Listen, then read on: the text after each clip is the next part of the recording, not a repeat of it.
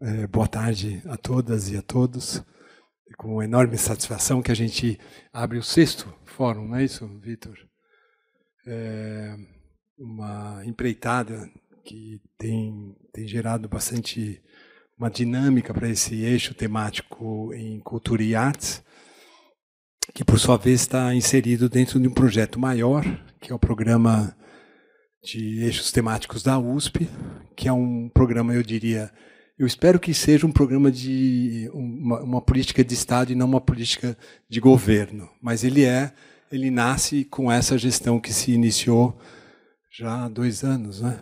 É, um ano e meio, é, que ontem tivemos o, o excelentíssimo, o magnânimo, magnífico, uh, reitor é, na Roda Viva, né, para entender um pouco, e eu achei bastante interessante que a, a, crise do Departamento de Artes Visuais teve um grande destaque. Né? Foi algo que foi citado várias vezes, enfim.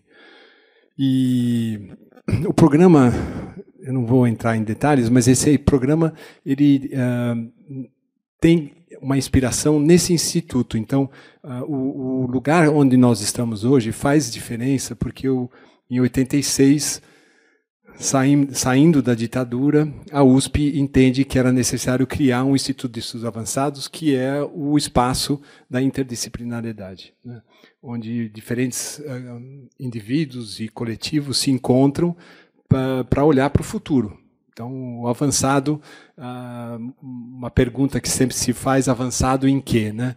Eh, eu entendo que, do ponto de vista das artes, tem uma, tem uma conversa direta com as vanguardas do século XX e da continuidade do espírito da vanguarda. Pensar uh, que é um exercício cada vez mais difícil, e eu acho que até muita, muitos têm até voltado as suas costas para o futuro, mas é esse exercício de entender uh, as diferentes áreas de conhecimento, essa, essa possibilidade de uh, criarmos até uma um, talvez um novo estado de coisa, né?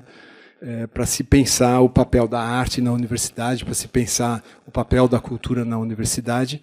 E, e, e foi interessante que esse eixo temático cultura e artes poderia, não poderia existir, como ele não está, por exemplo, nas ODS, né? porque o, o horizonte, uh, a paisagem desse programa de eixos temáticos da USP são as ODS, que pelo menos têm essa visão de sustentabilidade, de se pensar um futuro mais justo, né? Com, onde a desigualdade não, não tenha essa presença tão forte, né? marcante, como principalmente no Brasil. É, então, é, quando foi criado, inspirado então nessa, nessas metodologias interdisciplinares que o, o IA vem, vem é, trabalhando, né, produzindo, é, o programa é lançado.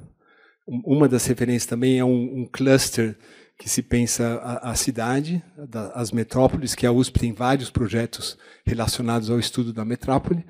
E, uh, enfim, com o lançamento desse programa, nós começamos a trabalhar e foi muito interessante que eu entendo que o mais importante desse nosso grupo é o espírito coletivo.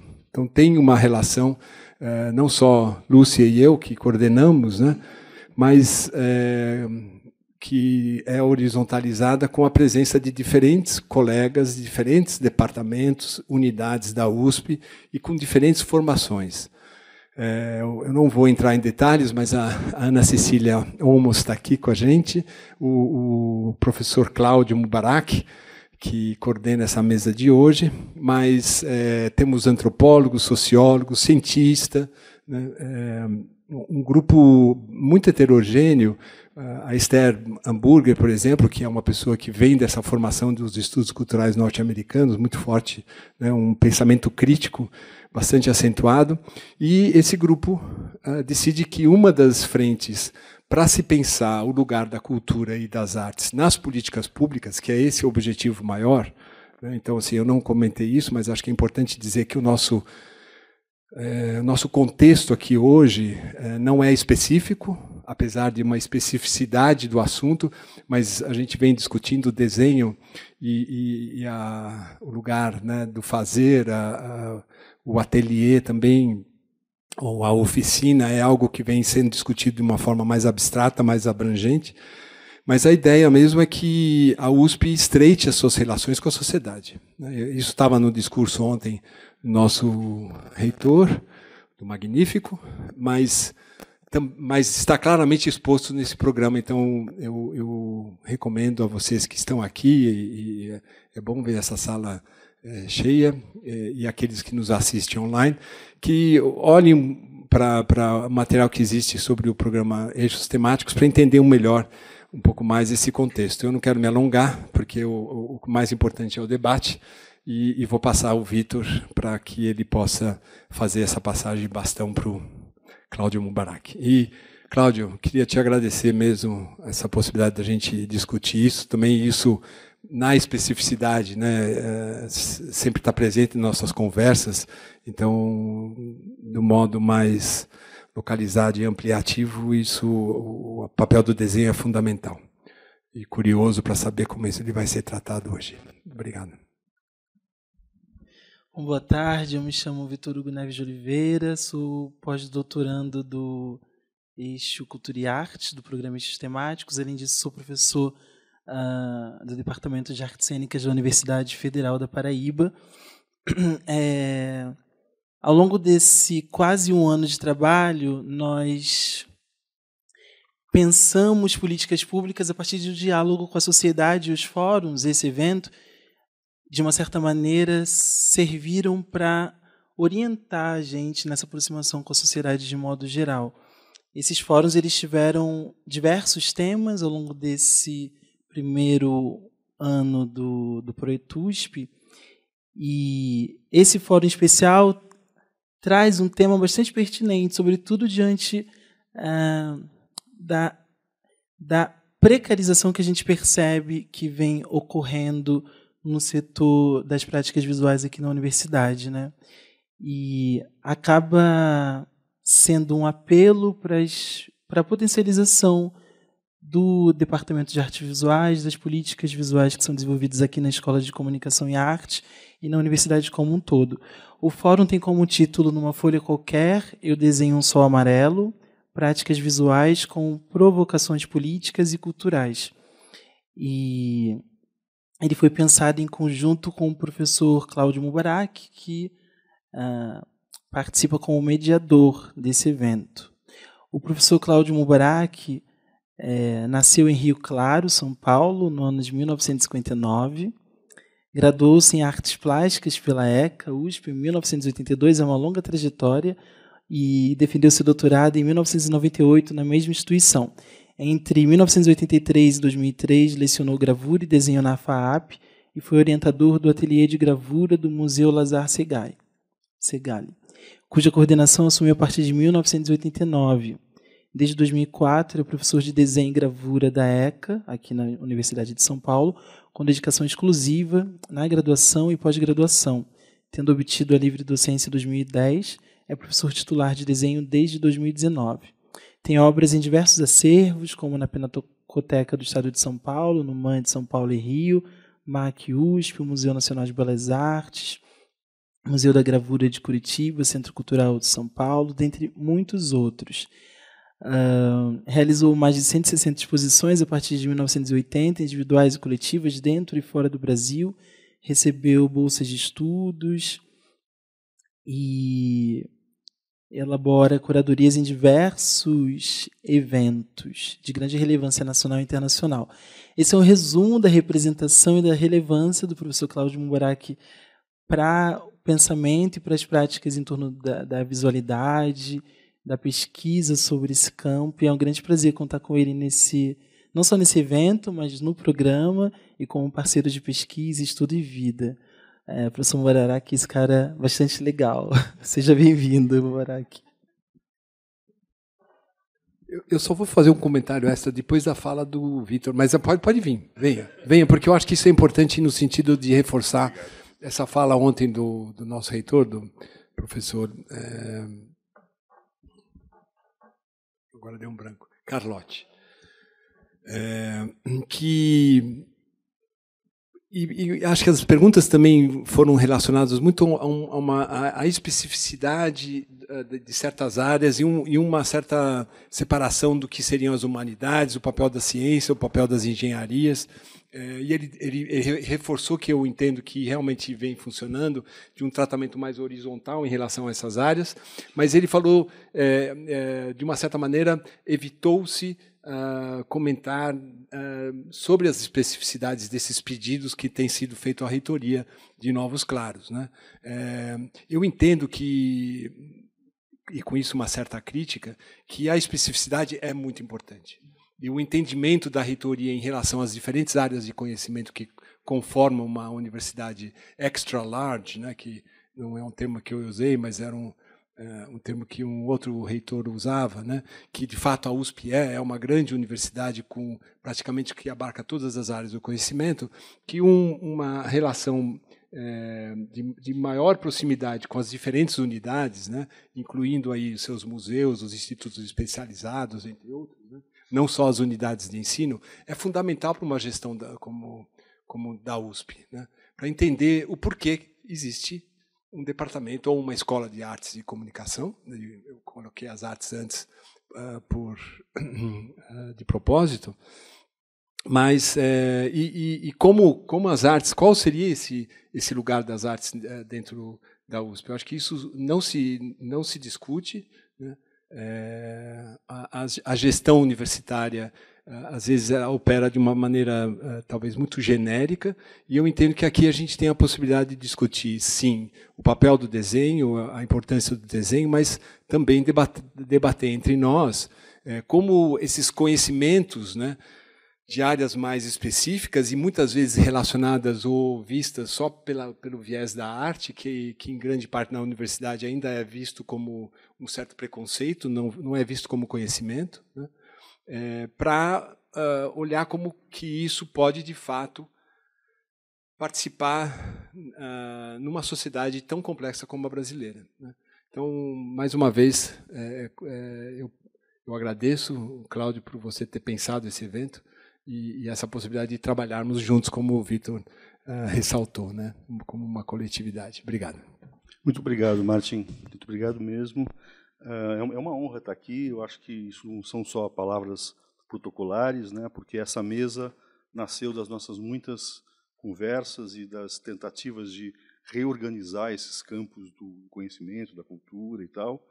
Uh, e o que eu vou dizer agora? Bom, antes qualquer coisa, também sou muito grato ao IEA, a quem eu agradeço aqui na figura do seu atual diretor, professor Guilherme Ariplonsky, aos, aos eixos, é, agradeço na, nas pessoas da professora Lúcia Maciel e do professor Martin Grossman, um especial agradecimento ao, ao Hugo Neves de, de Oliveira por ter sido uh, uma espécie de como é que eu posso dizer, a pessoa que tramou os vários fios que foram sendo buscados para esse encontro e ele conseguiu transformar esses fios num, num, tecido muito resistente, muito bonito e muito flexível ao mesmo tempo. Então, eu queria dizer que sou muito grato a você, Vitor, também. Ah, e também muito grato aos nossos convidados, né, os professores Madalena Hashimoto, professor Marco Butti, professor Claudinei, e a Tássia, que é a nossa ainda aluna do departamento, e eu vou explicar um pouco por que essas duas coisas. Porque os quatro membros dessa mesa, e eu mesmo, somos todos filhos do, do curso de artes plásticas, desde 2020, curso de artes visuais, né?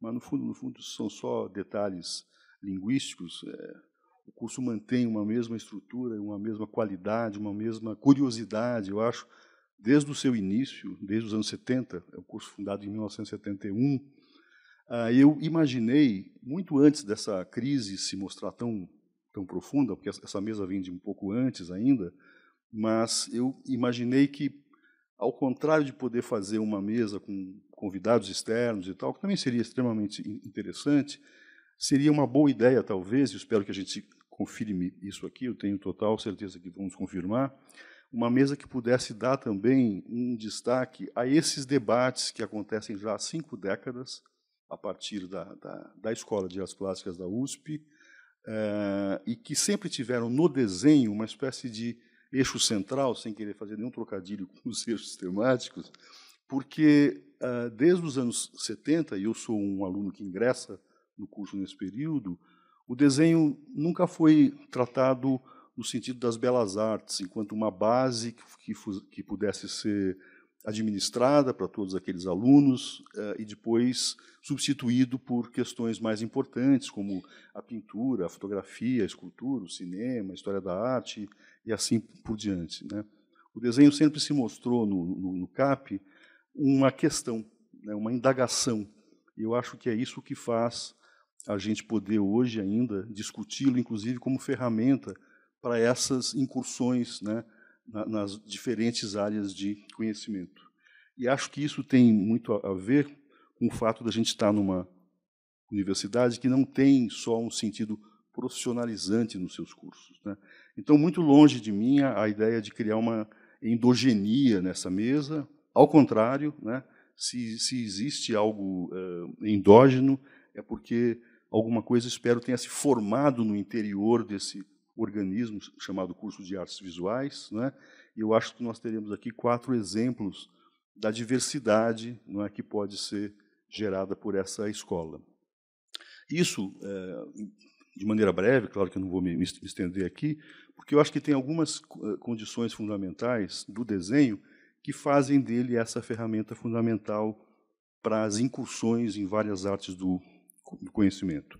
Primeiro, a gente pode dizer de maneira muito tranquila que o desenho é uma é uma acepção humana antes de qualquer coisa, é uma capacidade humana não restrita aos artistas, aos designers e aos uh, engenheiros e arquitetos, né? mas é uma é uma ferramenta que todo ser humano usa desde muito cedo e até os seus últimos dias, né? porque é uma maneira de você tanto se projetar no mundo quanto projetar para o seu interior questões fazem parte dessa porosidade que o mundo nos oferece. Além disso, ele é fundamentalmente multiétnico e multicultural, sempre foi. Né? As, as, as, muitas culturas históricas trocaram os seus desenhos muito antes de uh, trocarem as suas linguagens. É? Ele é também uma, uma forma de você lidar com o conhecimento transhistórica, ou seja, uh, nós podemos e devemos sim pensar questões ligadas a uma contemporaneidade, ao mesmo tempo, muitos casos nos levam de volta ao paleolítico para entender questões ligadas ao ato de, de desenhar, tão relevantes quanto as plataformas digitais que nós, nós temos hoje nas nossas mãos. Né? Então, essas múltiplas visões, os múltiplos usos, as múltiplas oficinas que o, que o desenho nos, nos oferece, eu acho que são companheiras né, de uma visão de mundo que só se expande ao migrar de um campo do, do saber para o outro. Né? Isso porque o desenho se dá num ambiente granular né? e, portanto, ele é um caminho eficaz para despertar as mais diferentes vocações. Né? Ah, então, pensando também nessa, nessa questão do desenho enquanto uma indagação, não há espaço entre ideia e oficina, não há espaço entre ideia e matéria. Né? Essas coisas são também continuamente uma interlocução, e eu acho que, de alguma maneira, o nosso curso tem tentado dar espaço para essa agenda que eu estou tentando sintetizar de maneira talvez um tanto quanto brutal aqui. Mas espero que essas ideias possam também agora ser comentadas pelas falas dos nossos convidados. Também queria enfatizar que, além de não ter nenhum aspecto ligado a uma endogenia, a gente tentou criar uma mesa onde as participações também fossem de professores atuantes no, no, no curso de artes plásticas, de professores já sêniores, né, de ex-alunos e de uma aluna que ainda está no seu período final de formação. Porque eu acho que, desse ponto de vista que eu coloco o desenho, ele também abre mão das hierarquias. Né? Ele é um lugar onde as, as, as, questões nascem continuamente.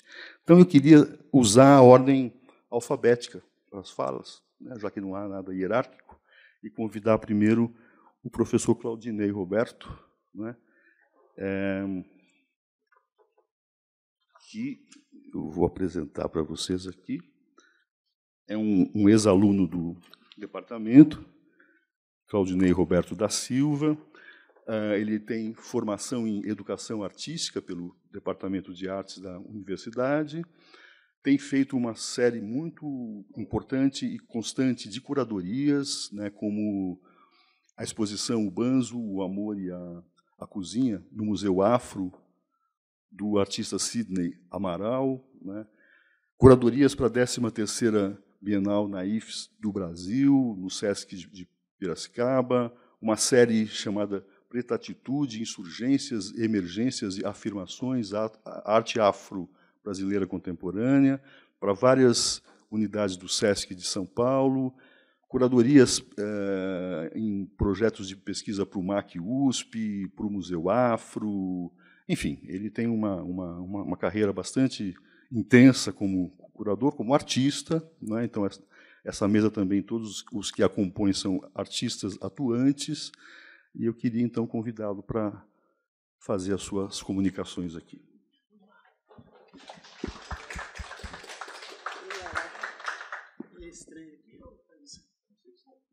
Deixa só ser o deputado, né? Ai.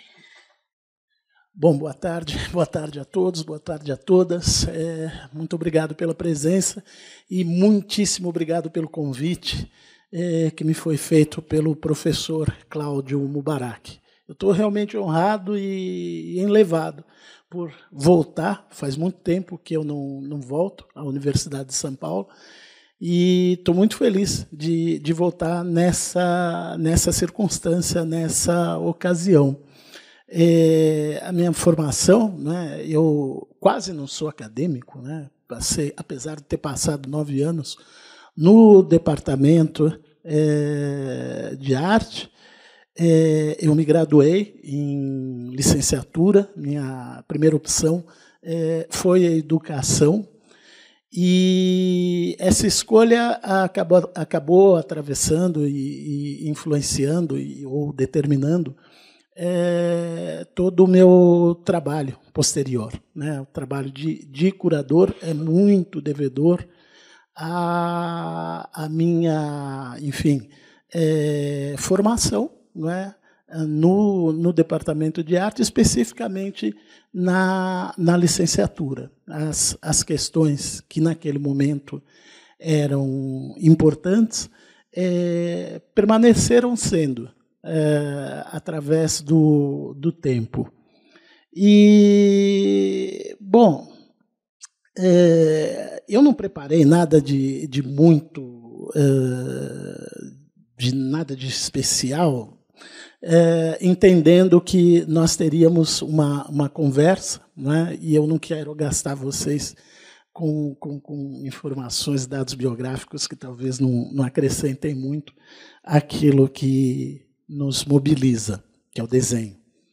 É, mas é, é, importante que eu diga que durante muitos anos, aliás, é, durante a minha permanência no departamento de arte, uma, uma constatação para mim ficou evidente.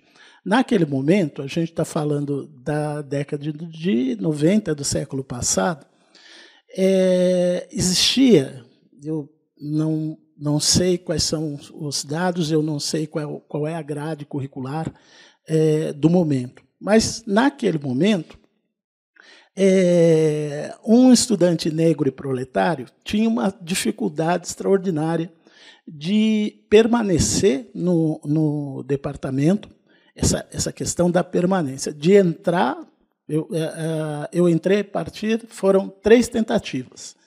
Três tentativas, na terceira eu entro. Na época, eram 20 candidatos. É, nós tínhamos 20 vagas, 20 candidatos eram aceitos, acolhidos pelo departamento. Nessa minha terceira tentativa, eu fui o vigésimo primeiro. E teve um, uma pessoa, para quem eu elevo meus pensamentos toda noite, que foi para a Unicamp e abriu a vaga que permitiu que eu entrasse no departamento. E, E, enfim, é, eu já tinha feito uma faculdade, a Marcelo do Pinambá, que é uma, uma instituição que não existe mais, mas ela era notável é, é, por ser um, um conservador, é, um conservatório de música e que dava aula de dança também. É? Eu tinha um interesse pela, pela dança que é, foi determinado é, pelo fato de que eu é, queria desenhar muito de uma maneira bem pretérita.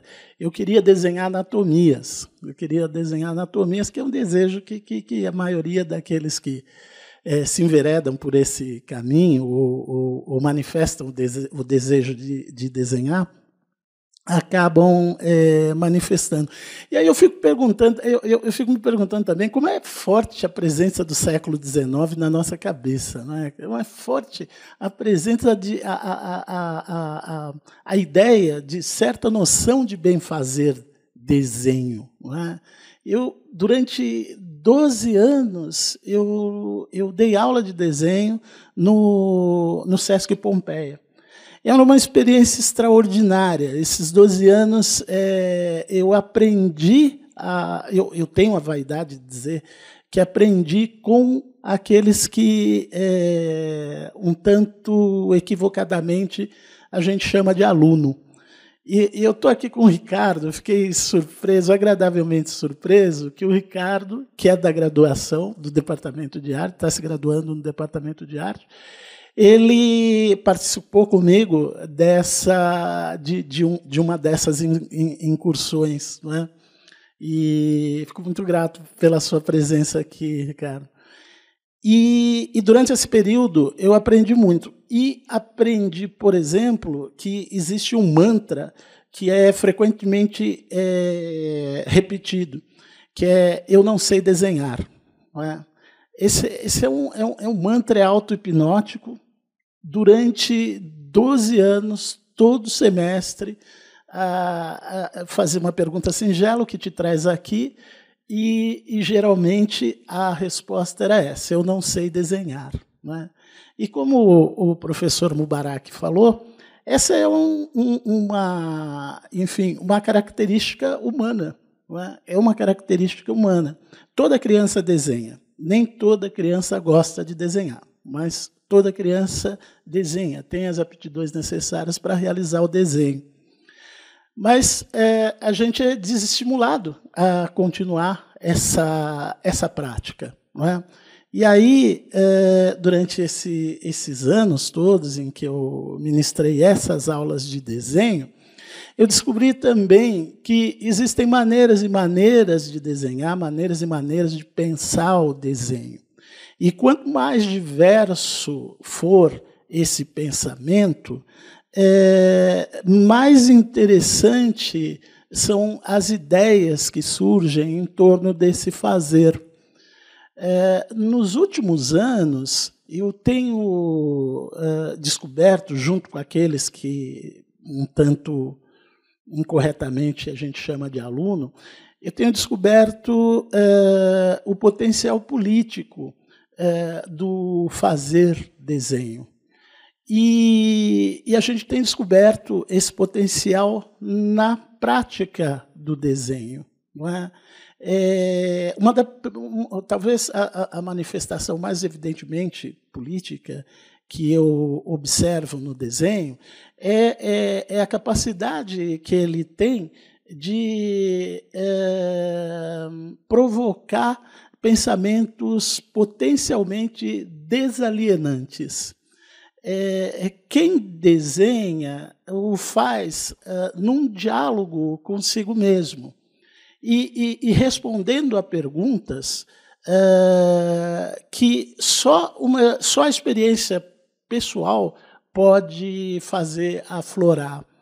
A gente é, é, costumava é, é, fazer essa pergunta, que te traz aqui, a resposta era: eu não sei desenhar. Aí a gente falava, mas você não sabe desenhar em relação a quem? Quais são os seus modelos? Quem são seus heróis? Quem são os seus desenhistas prediletos? E a resposta, muito frequentemente, vinha é, e apontava para algum mestre renascentista. Algum mestre da Renascença. Ah, meu, meu desenhista favorito é o Michelangelo, é o Leonardo da Vinci e tal. Né? Durante muito tempo, o meu desenhista favorito foi um ilustrador norte-americano chamado Frank Frazetta. Ele, ele desenhava, ele ilustrava capa de disco de heavy metal. Sabe, pensa numa capa de disco de heavy metal, é, é o Frank Frazetta. Não é? Essa, essa, quando eu, eu, eu começo a me aproximar do, do, do universo das artes de maneira mais, digamos, é, séria, né? Começo a aventar a possibilidade de, de, de, de, de que essa atividade fizesse parte do meu cotidiano, é, o, o, o, Frank Frazetta, enfim, e os ideais, né, os ideais de, de, anatomia que ele apresentava, que eram sujeitos fortes, né? Conan, Conan, tá aí, né? O, o, Frank Frazetta é o cara que, num certo sentido, define o, o visual do, do Conan. Era esse, era essa a figura que eu queria desenhar. Era essa personagem que eu, que eu queria aprender a, a, a, a desenhar. E eu estou falando isso por conta da, da, da, da, resposta que as pessoas davam. Né? Falaram, ah, não, eu quero desenhar igual o Davi. Eu falei, pô, mas ninguém quer desenhar igual o Frazetta, né? assim, na, na, naquele, é, é, pensando uma relação até de afeto né, com, esses, com esses modelos. Bom, é, quando a gente começa a, a, a, partir disso que é dito, né, nesse ambiente das, das oficinas de desenho lá do Sesc Pompeia, aí tem uma, uma coisa também, gente, que foi muito importante, que o, o, a, a, a arquitetura do Sesc Pompeia ela ajudava muito no, na compreensão de certa ideia de desenho. Não é? Quando a gente solicitava daqueles que participavam das oficinas que não usassem a borracha, a gente sempre oferecia a arquitetura é, como a prova de alguma coisa que existe em processo. Não é? E aí a gente refutava essa, essa ideia uh, do, do, do, certo do errado, mas pensava muito no termo do processo, nas marcas do processo, nos, no quanto essas marcas podiam ser úteis no final desse, desse percurso. Que aquilo que você achava equivocado, ou que você achava ruim ou feio, na realidade, é, era alguma coisa que você ainda não entendia. Não é? Na, é, nós víamos muito, muito pouco do desenho, por exemplo, moderno. É? O desenho, vou citar um desenhista que eu acho extraordinário, é a Tarsila do Amaral. Não é? Tarsila do Amaral, é, é, para mim, tem um desenho luminoso, talvez mais luminoso que a própria pintura dela. E, e, um, e, um, e um desenho que, num certo sentido, é, é, paradigmático de, de, uma, de uma vontade de fazer desenho, não, não desenho como suporte para alguma coisa que vai existir, não desenho como ferramenta é, é, de alguma coisa que não é o próprio desenho. Né? Então, tem um, um, aspecto que foi mencionado pelo professor que eu acho é, muito importante, não é? O quão acessível é também o, o desenho, não é? Nessas práticas que a gente estimulava, é, a gente solicitava das pessoas que não comprassem é, cadernos de capa dura ou, ou, ou moleskines, esse tipo de coisa, que as pessoas tinham medo de usar. Sabe? Só que o meu desenho não é digno de ser feito nesse, nesse, nesse caderno. Né? Tem um fetiche é, que começa a partir do material mesmo que você emprega. Né? E, e, e, a propósito disso, é, eu estou me embaraçando todo, mas tudo bem. Ah, tem um, um hoje, é, é, principalmente, e é uma coisa extraordinária, né, gente? É, eu, eu é, nesse, nesse, nesse período em que eu estive na graduação, eu nem no, nem em sonho pensei é, que estaria diante de vocês uh, em algum momento, sabe? Diante uh, do professor Butti, do professor Mubarak, do professor Groisman. Eu nunca imaginei que pudesse participar uh, de um fórum como esse, como convidado, porque isso não estava no nosso horizonte. A nossa experiência de negro e proletário não participava de certo tipo de debate. No, no departamento de arte, é, existia uma matéria chamada Evolução das Artes do Brasil. Né? E por evolução, você imagina que alguma coisa não é muito legal e ela acaba se tornando muito legal. Né? E essa coisa que não era muito legal era feita por preto e indígena. A gente está falando da arte colonial, e de uma arte que já existia e que não era considerada. Nós tivemos um, um, um colega, o Iraí Fuscaldo, que era um, um originário. É?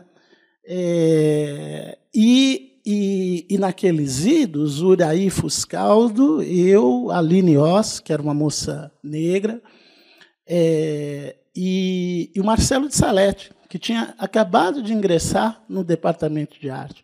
Marcelo de Salete vocês devem conhecer, né, um quadrinista extraordinário, também passou pelo departamento e enriqueceu muito, eu tenho a impressão, é, o, o, o, departamento a partir do, dos debates é, que surgiram por conta dessa, dessa uh, atividade que ele exercia. É?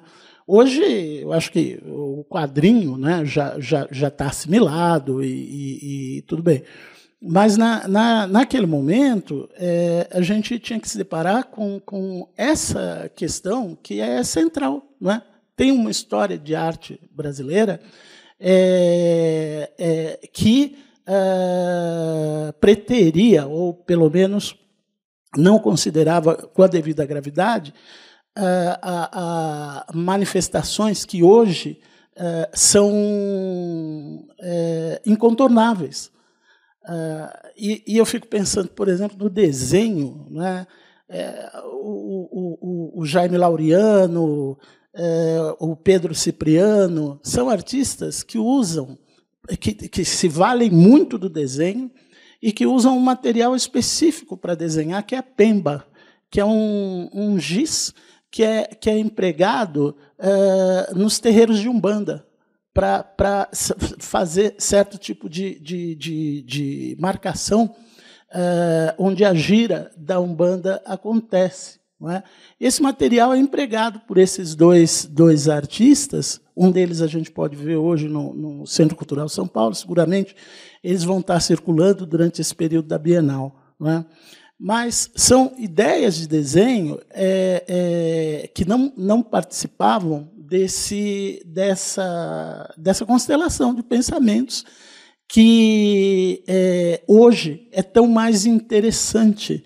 Né? Essas, essa, o, o, professor falou não é, que essa é uma manifestação que é, que é prímeva, que ela, ela, ela acompanha a, a, a humanidade sofredora. Mas, para encerrar, é, eu, eu, eu, eu, eu queria é, é partilhar com vocês essa experiência é, que tem sido muito importante de desenhar é, é, de desenhar na rua, de desenhar coletivamente ou não, mas desenhar na rua, não é? Que era uma experiência que, a partir dessa plataforma que o SESC Pompeia oferecia, nós desenvolvíamos. Toda vez que a gente ia desenhar na rua, alguma coisa de, de, de diferente acontecia. Vezes parecia que é, é, o ato, o, o, nosso corpo desenhando, despertava um, uma, uma, uma ideia qualquer de que a rua não era é, necessariamente um território hostil que a, a rua podia ser percebida a partir de outros lugares, inclusive por aquele que a arte oferecia nesse ato de desenhar. Não é? É, eu acho que existia um, uma, uma possível comunhão entre os desenhistas, mas existia também esse movimento da pessoa que se aproximava de quem estava desenhando, é, e, e, e, e, naquele momento ela estava absolutamente é, é, absorta por aquilo que estava acontecendo, que o desenhista estava realizando. É, é, é, é, uma coisa automática, quase. Que a pessoa olhava o que você estava desenhando, olhava o objeto, olhava para o caderno, depois balançava a cabeça, dizia que não estava igual e saía andando. Mas nesse, nesse momento em que isso acontecia, eu acho que a gente devolvia para a rua um, um, um caráter original e republicano é, aquele território que é sempre que tem sido percebido como hostil acabava a partir desse ato absolutamente singelo, né, do sujeito que para e, e, e quando ele para ele devolve é, o, o, características não é que tinham submergido pela, pelo cotidiano, pela brutalidade que é, que é, que é própria não é? de, de, de, quem vive numa, numa, numa cidade grande, é, nesse, num, num, num, capitalismo de tão má qualidade como o nosso, né? um capitalismo sem zaleiro, é, que provoca, enfim, essa, essa dificuldade de, de, de, de acessar a beleza, não é? Porque eu acho que necropolítica é isso, né? É interdição à beleza, né? Interdição à felicidade, interdição ao fenômeno erótico, que no fim das contas é, é, é isso que eu entendo ser o, o desenho, né? Um, um, fenômeno absolutamente erótico no sentido de, de, de afirmação da vida e das potencialidades uh, humanas, não é? Em detrimento dessa pulsão é, tanática né, de, de, de, de, de morte, é, que, é, pelo contrário, afirma que nós não podemos desenhar, que isso é uma atividade desnecessária, pouco produtiva e, portanto, inútil. Ah, ufa.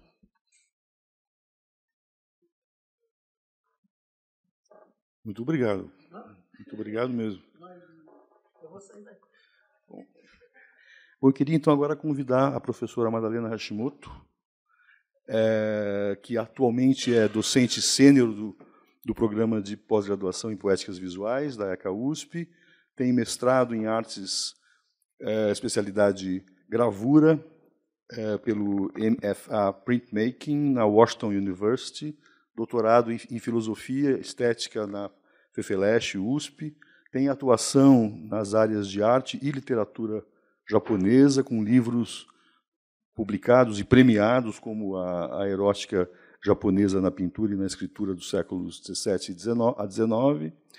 Traduziu do japonês o livro do travesseiro, que é uma, uma belíssima tradução, uh, e tem uma série de textos e artigos e tal. Enfim, é uma artista também que tem, tem toda uma, uma carreira como alguém que produz arte e expõe, né? e que nos deu agora a felicidade de estar de volta no Departamento de Artes Plásticas, de onde ela não saiu, mas ficou fora um tempo. Obrigado, Madalena.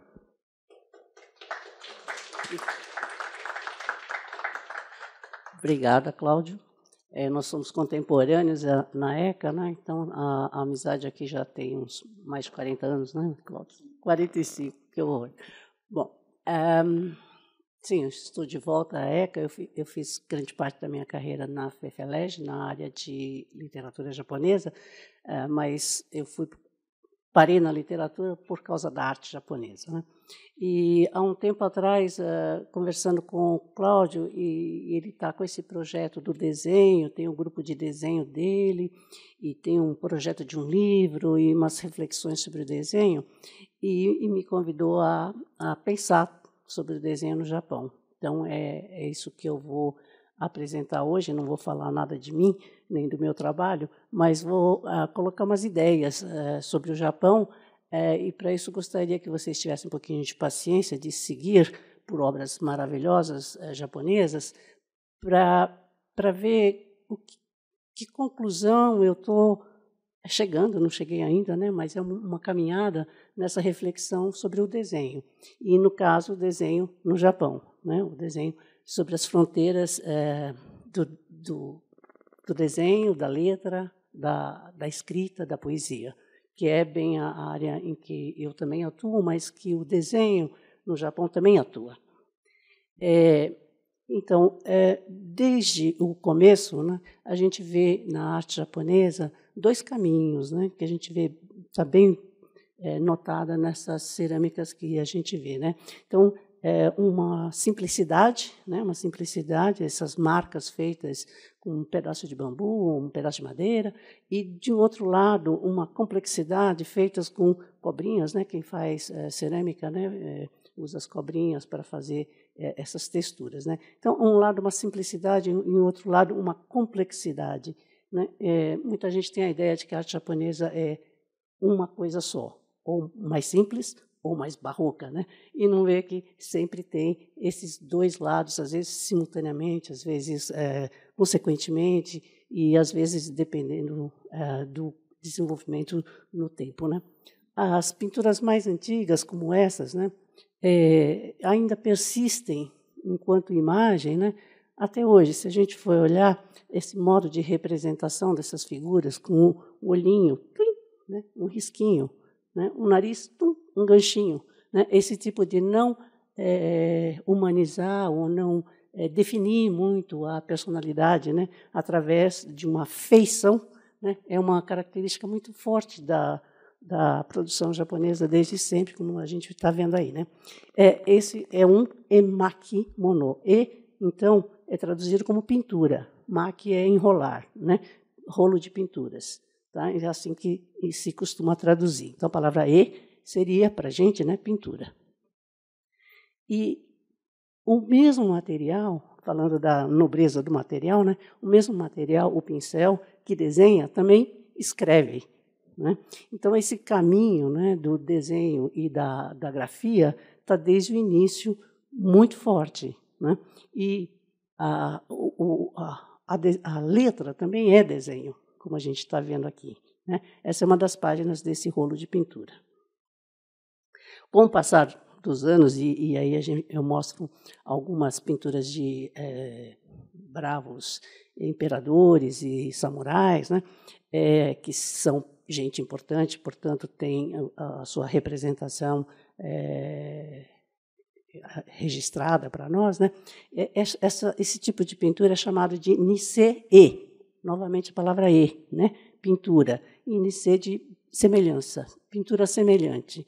Então, esses retratos, entre aspas, né, essa palavra não existe, lógico, no Japão, né, isso é uma representação semelhante a quem? Aquele imperador, aquele samurai que teoricamente seria estaria sentado aí para ser representado. Mas a gente vê que tem coisas muito fortes, é a mesma posição, é a mesma roupa, né? É, o gosto o, o, o, do é, senhor retratado né, vai depender não do, da, da, fisionomia dele, porque o, o, olho é um risquinho, o nariz é um ganchinho. Né? Então, é a roupa, é a circunstância. São as coisas que nos envolvem, que nos dizem quem somos. É, mais tempo se passando, né, essa pintura é muito famosa, é uma pintura, entendida como pintura. Então a gente fala, nossa, mas preto e branco é pintura? Né? Porque pintura na nossa cabeça tem que ter cor. Né? E preto e branco, então, não é pintura. Né? Mas é entendida, sim, no Japão, como pintura. Né? Pintura com tinta sumi. Né? É, então, é, uma, uma influência também muito, a palavra influência talvez não seja correta, é, é uma, uma in, é, inserção né, de coisas que estão acontecendo na China, que estão entrando no Japão nesta época. É, e, e, e, novamente, a gente vê a, a palavra, a letra, né, se misturando com a imagem, se misturando com um papel tratado e se misturando com uma narrativa de pobres e é, é, anônimos né, que estão sofrendo as agruras da guerra. Tá? Então, se a gente é, traduz esse texto todo, a gente vê que está se falando né, de uma de, das guerras que vão se passar no século XII e, e XIII, né, que são muito muito terríveis. Né? Logicamente, essa representação é posterior, porque na hora da guerra mesmo está todo mundo fugindo. Né? Oi? Ou, ou morrendo e lutando, enfim. Né? É, e, e, as guerras né, têm uh, as representações mais é, violentas, como esse é um, um, detalhe né, de um desses rolos de pintura, né, desses EMAC, rolo de pintura, e aí a gente vê essa agitação né, que vai nos lembrar aquela, aquelas primeiras cerâmicas agitadas. Né? Então, esse é o momento da agitação, dos fogos, das, das guerras e das lutas. É um, é um, um, rolo maravilhoso né, que a gente está vendo. É, paralelamente, o que, que a gente tem? É, quando a gente tem muita guerra, né, a gente tem muita procura de algo mais elevado para fugir dessa, dessa questão da guerra e da tristeza. Né? Então, há muitos, é, muitas pinturas aqui que vão retratar monges itinerantes que estão tentando consolar a vida. Né? Então, Emaque também Tá? Rolos de pintura é, representavam não somente os, os, ricos aristocráticos, como os guerreiros, como os pobres monges itinerantes que saem é, pelo Japão para pregar a, a salvação. Né? E esse é um exemplo de como um emaki se desenrolaria né, no, no tempo. Teríamos que ir desenrolando, e, portanto, a leitura da imagem né, a leitura do texto né, é, se é, contemporiza né, na, no mesmo objeto, rolo de pintura, emaque. Né? É, e a gente vai notar como composição que tem grandes espaços de respiro, espaços que a gente é, chama de espaços brancos, yohaku, né? de, de brancos que restam, né? É, para dividir cenas, para dividir tempos, para dividir é, ações. Né? e o, o, mundo divino, o mundo mundano. Né? É, e, essa obra também é bem, bem famosa e também é um emaki, também é um rolo de pintura. É, quem gosta muito de mangá, é, geralmente é, gosta muito dessa, desse rolo, porque dizem que parece mangá, enfim, né, para quem aprecia, né, porque tem personagens que são personagens do mundo animal, mas eles são humanizados, né, eles têm características é, de monges, de guerreiros, de é, é, comediantes, enfim. ninguém sabe quem é que pintou isso, né? Mas ele, esse tipo de pintura é chamada de giga. giga. Então, aqui nós não estamos falando de emaki. Ele é um emaki, ele é um rolo de pintura, mas né, ele não tem cor. Né? Ele não tem cor, já começa por aí. E ele tem animais né? mas na, na, na posição de, de, de, humanos, né? Como é que coisa estranha é essa? É um mistério. Ninguém sabe como apareceu, né? É, mas é, está lá num, num, templo, Kozandi, em Kyoto, né? E o título dele é, é Giga, né? Chojin Jimbutsu Giga, quer dizer, Ga, portanto, é uma palavra que também significa desenho ou pintura, né? Representações satíricas, né? É, essa pintura já é mais erudita, né, bem mais erudita, é, porque é, é, de um pintor de carreira, pintor oficial, pintor que serve à corte dos é, guerreiros. Né? Kano né, foi uma, uma escola familiar muito grande. Né? Então, o que, que a gente vê aqui? Esse yohaku, esse branco que resta, né? esse tipo de composição né? que a gente é, diria que é bem é, japonês. Né? Mas esse branco que resta, é, às vezes, não é exatamente branco. Né? Como a gente pode ver nesse biombo, ele é de ouro. Né? Então, é o ouro que resta, mas é chamado de o branco que resta. Né? Yohaku, porque o, o, o caminho é o mesmo, a composição é a mesma. Né? É uma coisa que está e não está, ela divide, ela é do, de um plano e de outro, é, tanto visualmente como ah, também é, representativamente. Né? É, quando a gente vê dragões, né, a gente fala, ah, isso é japonês. Não, é, na verdade era chinês, né? que depois virou japonês. Então, é, é, é para a gente, é, fica muito difícil dizer o que é japonês, o que é chinês e tal. E os próprios japoneses, às vezes, acham que o chinês não é estrangeiro, né? o chinês já é eles. É. Então, o estrangeiro, depende da época, é o chinês, mas depois que está bem é, compreendido, então o estrangeiro vai ser o português, ou o americano, ou sei lá, o lunático, enfim, né, dependendo do, do contexto. Né? Então, esse tipo de, de pintura, vejam bem, é uma pintura, apesar de não ter cor, né, ela tem muitos tons de cinza. Né? E, e esse tipo de representação, né, de não é, completar a imagem, de deixar grandes espaços vazios, vai caminhando tanto que é, ela toma uma direção que muita gente chama de decorativo, né? É porque ela já perde a, a, a noção do espaço e a, as águas, os rios, elas entram ali como ah, geometria, muitas vezes, né? É, como a gente pode notar nessa pintura que é famosíssima, e acho que muita gente olha essa pintura e fala: Nossa, por que é tão famosa essa pintura? Né? São várias pinturas que têm esse mesmo tema, né? que são as, as flores de íris aromática.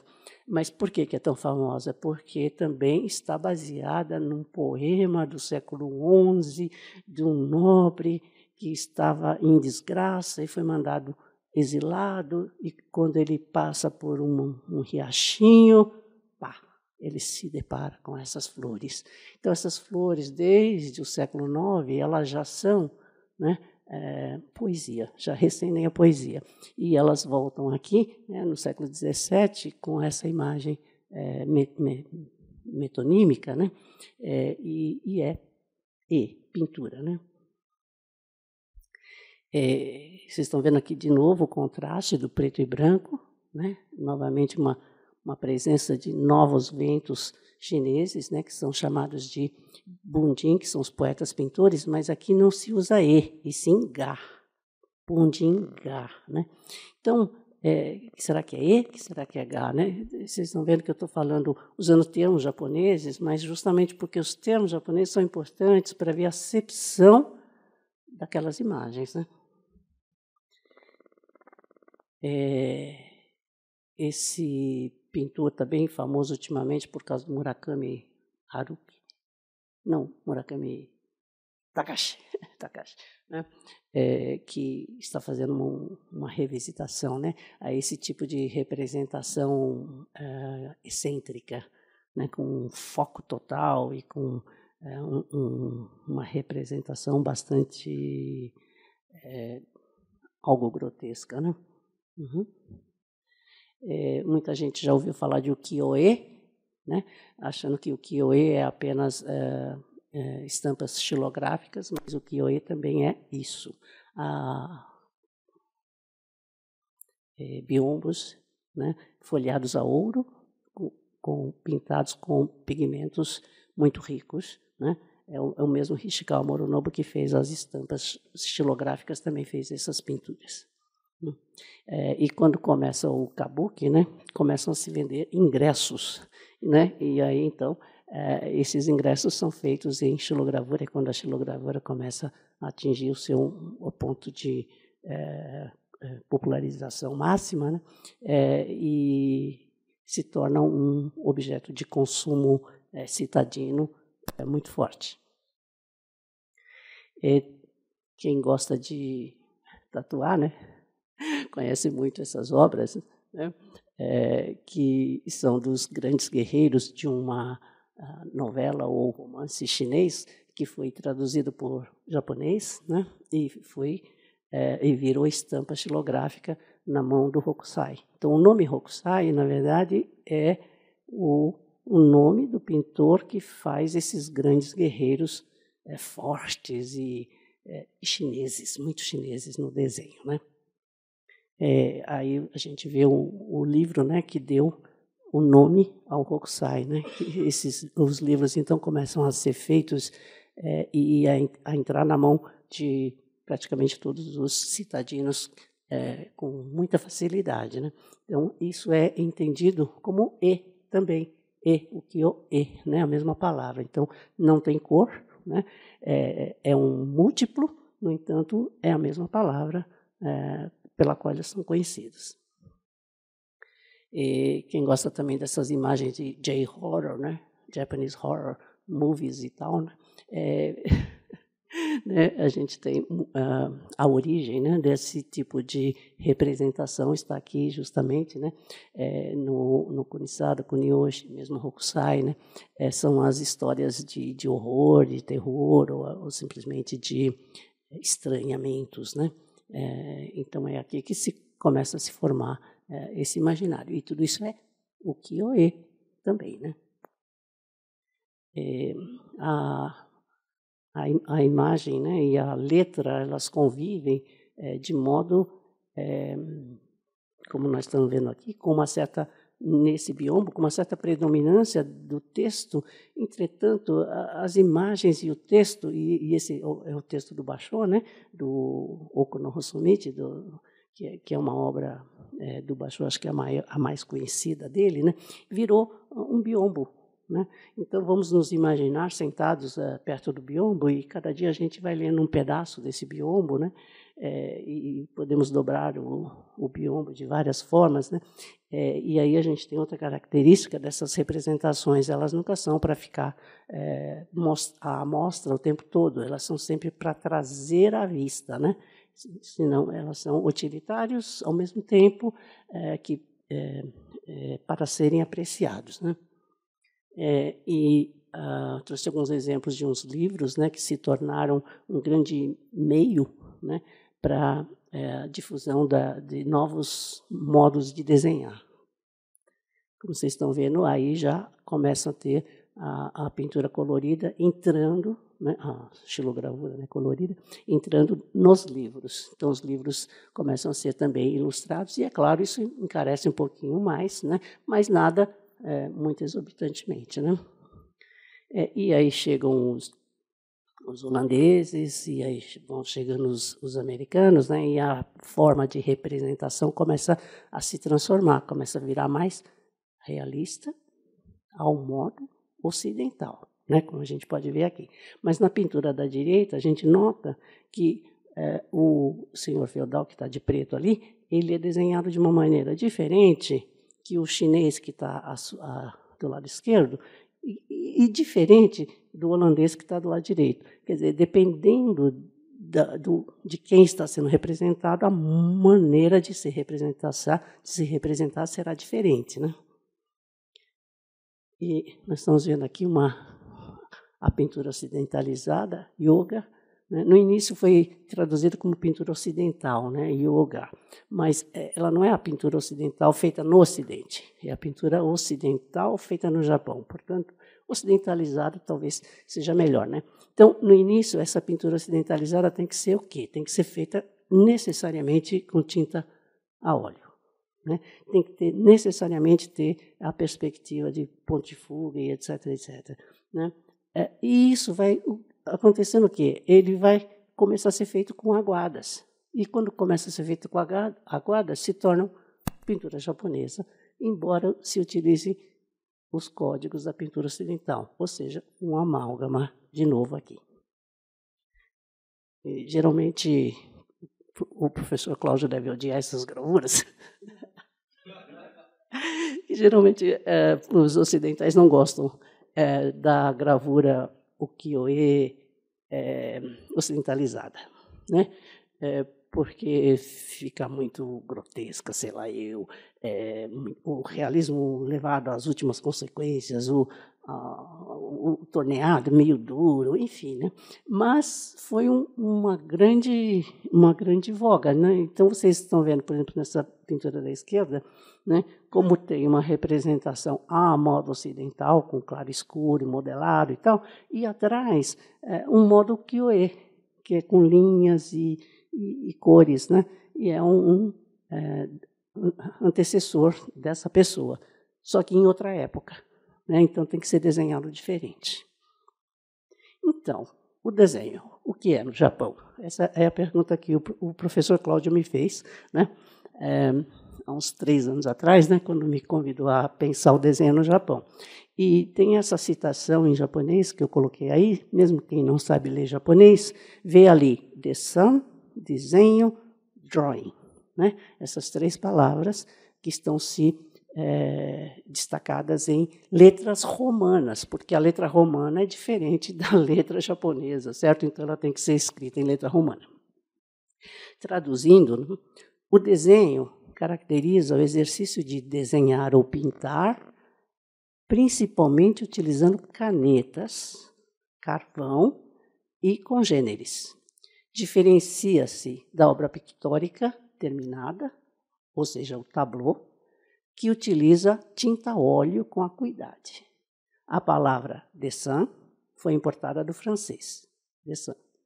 Tem um significado muito semelhante às do italiano desenho e do inglês drawing.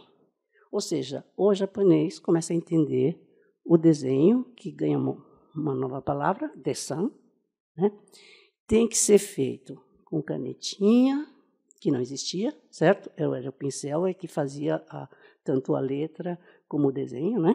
Agora tem canetinhas, canetinhas japonesas são ótimas, né? Hoje em dia, é, carvão, né? Aqueles bastonetes de carvão, né? E, e coisas congêneres, o lápis, né? Aí que entra o lápis. Os lápis japoneses hoje em dia também são muito bons, né? E, e tem essa questão do desenho e do drawing que não na cabeça, né? Não existia no Japão. Então, essas três coisas que existiam. Do lado esquerdo, esse, essa representação do samurai no, no, cavalo é chamada de Hakubyoga. Então é ga, né? Hakubyo. Hakubyo quer dizer representação branca ou representação sem cor. Hakubyo. Então esse, essa representação tem pouca cor ou nem, nenhuma cor. Né? É, então a gente chama de pintura branca, traduzindo ao pé da letra. A do meio, aquela que a gente viu, né? Giga. É um Gá também, uma pintura lúdica, satírica, que chama-se de caricatura hoje em dia, mas caricatura é caricatuar, né? Então é, um é termo estrangeirismo no, no japonês. E o mangá, que significa pintura divertida, né? Ou cômica. Então esse é o nome de mangá que dá nome ao gênero hoje em dia. E tem uma palavra que ultimamente tem, tem se usado muito, né, que é stae, pintura de baixo. Então, aqui do lado esquerdo, a gente tem essa, esse desenho do Hokusai, que é um, uh, um rei indiano de antes de Cristo, que tem a barriga, que sai um, uh, assim que ele morre, um, como é que chama isso? Um raio né? sai de dentro da barriga dele, por isso que esses raios assim saindo, ele, é assim que ele morre. Esse desenho ia ser um achilo, né? mas não virou chilo. Então sobrou o desenho, que é chamado de stae, pintura de baixo. Tá? Então, ultimamente tem se encontrado muitas stae, né? não só de Hokusai, como de Kuniyoshi, né? Kunisada, que foram feitas para ser séries de gravuras, no entanto, não foram gravadas. Tá? Então ficaram como está aí. E a gente acha que é desenho, né? no seu estado puro, como foi dito aqui, né? o desenho por si só. Né? Não, ele, ele ia ser destruído uma vez é, feita a matriz. Né? É, e do lado direito, o, como a gente fala, né, é um stae de mangá, uma personagem. Né? Então é o que a gente chama de esboço hoje em dia. Né?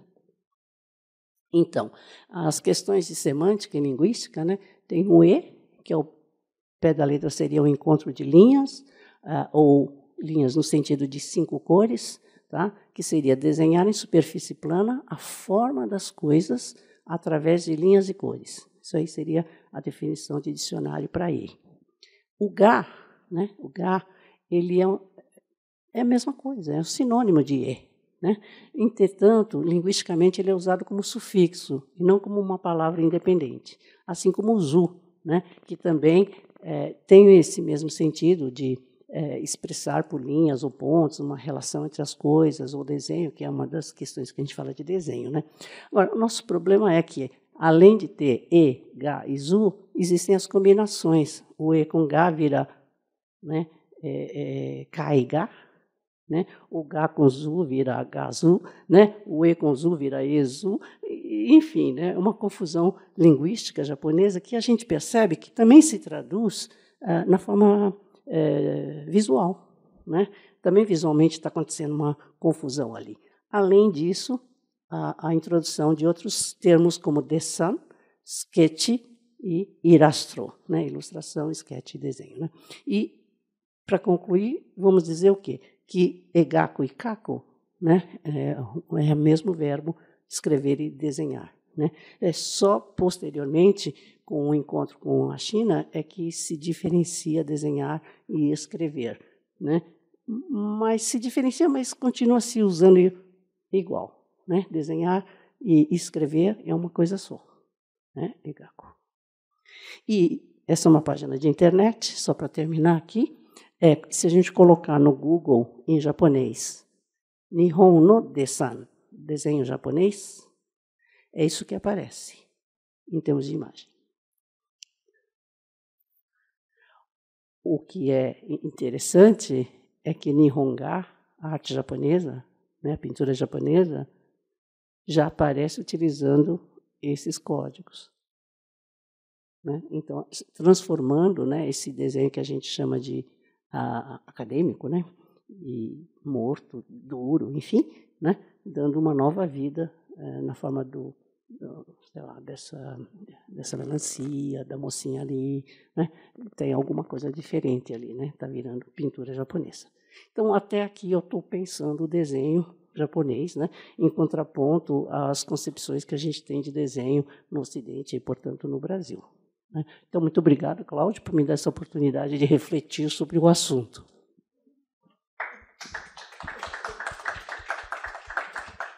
Acho que deu para notar que se a gente ainda existir como civilização nos próximos dez séculos, a gente pode finalmente parar de usar essa distinção canhestra Oriente e Ocidente, né?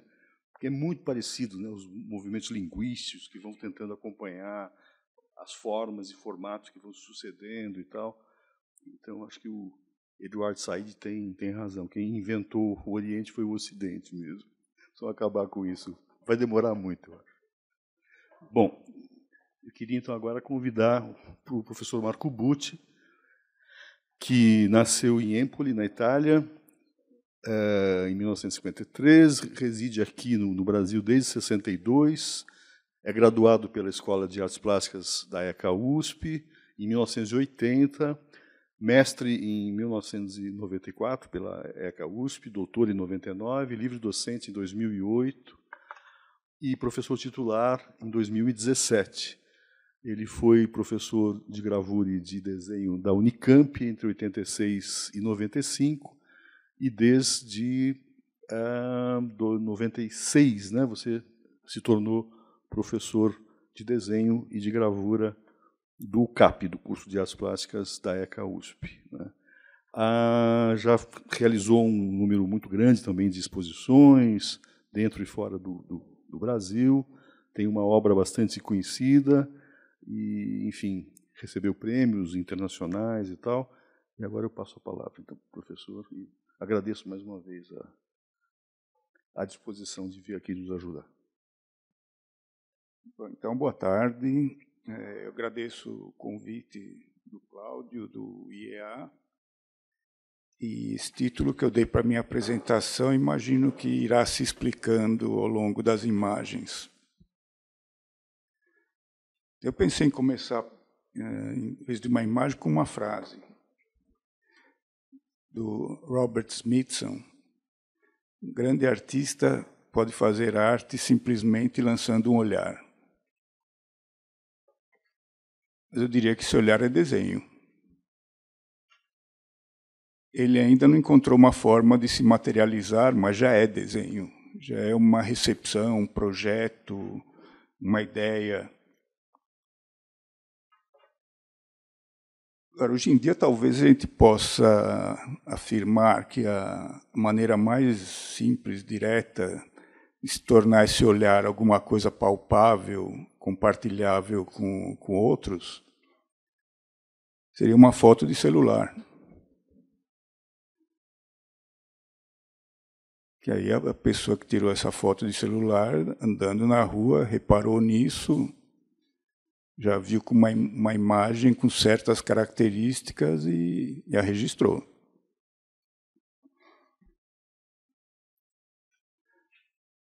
Em outras épocas, o instrumento, os meios mais imediatos de registrar esse olhar que é lançado sobre o mundo seriam o caderno de desenho e os instrumentos portáteis do desenho. No caso, é um desenho do Rembrandt, é bastante famoso pelo, pelo poder de síntese, pelo gesto. É, tem uma controvérsia se é uma paisagem de neve ou não. Mas faz parte de, de uma série de cadernos e folhas de desenho que é, Rembrandt tinha o costume de registrar a paisagem de Amsterdã e seus arredores. Agora, o Rembrandt, pintor, ele não é um paisagista. A pintura de paisagem no Rembrandt ela é relativamente rara, mas é muito numerosa nos desenhos e nas gravuras em metal. Lembremos que a paisagem tinha um, era um gênero baixo na hierarquia dos gêneros pictóricos, né? era o penúltimo acima apenas da natureza morta. Mas nos desenhos e nas gravuras, é, essas hierarquias atuavam menos. Então, o caderno de desenho é aquela coisa que poderia sim levar a uma obra mais realizada, mas também é uma finalidade em si mesma que, que o artista faz para mostrar para si próprio seu pensamento de uma maneira mais clara. Nesses percursos, o, o Rembrandt ele saía da casa dele, uma zona privilegiada de Amsterdã, e se dirigia à zona portuária, aos arredores, e atravessando a cidade, de uma cidade que podia ser confortavelmente percorrida a pé, que ela acabava numa certa altura, e você estava no campo e se aproximando de uma cidadezinha a uma distância relativamente pequena também. Então, o que a gente vê, é, isso foi estudado, tem um livro que fala sobre os percursos do Rempel, ele se dirigia para todos os lados de Amsterdã. Carregando seus cadernos de desenho, obviamente ia haver pontes na área mais urbanizada, uh, moinhos de vento, caminhos passando no meio das árvores, da vegetação, rios, Aliás, tem muita água, né? Lembremos também que a própria paisagem holandesa é difícil a gente chamar de natureza, sendo que ela é redesenhada pelos holandeses, né? Das sete províncias originais que constituíram a Holanda independente, hoje são doze. Cinco são resultado da drenagem das águas pelos próprios holandeses. Então, ali no, nos arredores de, de Amsterdã, saindo da cidade, tinha casas espaçadas com os agricultores, etc., com as suas atividades típicas. Isso é registrado em centenas de desenhos nos cadernos do, do Rembrandt. Ou na zona portuária também, um porto agitadíssimo, onde afluíam uh, navios que dirigiam todo mundo, inclusive ao Japão, e traziam coisas de volta. E ali temos um desenho onde tem, inclusive, um, um carinha, que talvez seja o próprio Rembrandt, desenhando a paisagem. Então, aqui daria para mostrar centenas de desenhos belíssimos. Mas eu queria lembrar o seguinte: é, essa é a Amsterdã mais antiga, antes da época do Rembrandt. Ela se concentrava praticamente em volta do porto. Na época do Rembrandt, a cidade tinha sido muito ampliada. Tinha se expandido bastante, dá para notar a zona antiga ali no meio, né? mas ela se ampliou de uma maneira razoavelmente geométrica, com canais artificiais. O rio Amstel continuou passando ali no meio, desaguando Então, eu queria é, pensar o seguinte: quando o artista se dirige para algum lugar numa cidade, ele está seguindo o desenho de outro. E o resultado da cidade, geralmente, é um estudo baseado no desenho, feito por outros ou uma equipe de outros, em comum acordo ou encarregados pelos poderes constituídos, que traçam percursos que vão abrir caminhos e também erguer barreiras para o olhar do artista. Então, quando o Rembrandt se dirige aos arredores de, de Amsterdã, vocês estão vendo que ainda é uma cidade cercada ali, né? E ali fora tem as cidadezinhas próximas que ele também visitava. Ele está seguindo um desenho de outra pessoa que vai delimitar, pelo menos em parte, os movimentos que ele vai fazer. Esse artista é um pouco anterior ao Rembrandt pelo período de vida dele, o Rembrandt nasce em 1606 e morre em 69, eles eh, convivem durante um certo tempo. Ele era um artista, desenhista, gravador, comerciante de estampas. O Rembrandt parece tê-lo conhecido. Ele percorreu caminhos semelhantes, como muitos outros artistas. E são as gravuras das mesmas regiões pareci, eh, percorridas pelo Rembrandt, gravadas pelo Vischer anteriormente. Então tem situações até semelhantes, né? Tem um desenho do Rembrandt tem uma pequena ponte elevadiça, outro tem uma cancela elevada. Pode se supor que muitas coisas que o Vischer já tinha registrado atraíram também o Rembrandt, mas que registrou de uma maneira bem diferente. Aí são duas gravuras, Vischer e Rembrandt. Dá para ver que a maneira do, do, Rembrandt gravar é muito mais próxima do desenho, uma gravura mais atmosférica, é, eu diria menos mecânica. E, e, é nesse campo do, do desenho e da gravura que o, as paisagens do Rembrandt se concentram. E são paisagens de, da cidade de Amsterdã e seus arredores. Lembremos também que essa grande reforma né, em Amsterdã custa caro. Estamos no século de ouro da, da arte uh, holandesa. Que essas realizações também provêm, de, digamos, do, do comércio da Companhia das Índias Ocidentais e Orientais, e que isso é contemporâneo, inclusive, da invasão do Nordeste do Brasil. Então, isso faz as riquezas afluírem a Amsterdã e financiam a reforma tão profunda que vai criar bairros novos onde moram as pessoas mais ilustres. E uma das gravuras mais uh, conhecidas do Rembrandt é essa das três árvores, onde também, se vocês olharem ali à, à direita, tem uma pequeniníssima figura de um desenhista também. Alguém olhando a paisagem e desenhando.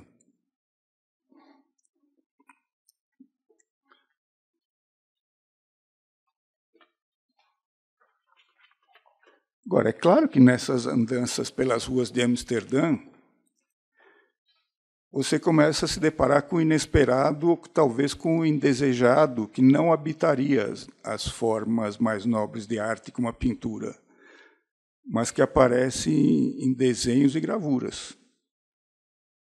Você jamais teria uma pintura encomendada por alguém da alta burguesia holandesa com um tema desses para colocar na sua sala e decorá-la. Mas isso, é, com exceção de um desenho, o resto são gravuras, ou seja, são as, as imagens multiplicáveis e cir circulantes da época. Que uh, não eram necessariamente vistas pelo mesmo público das pinturas.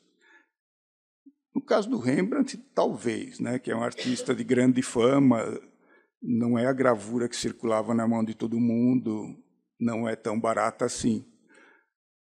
Mas isso é, é uma gravura no meio de um grande número de imagens multiplicadas que circulavam pela sociedade da época. Em todos os países da Europa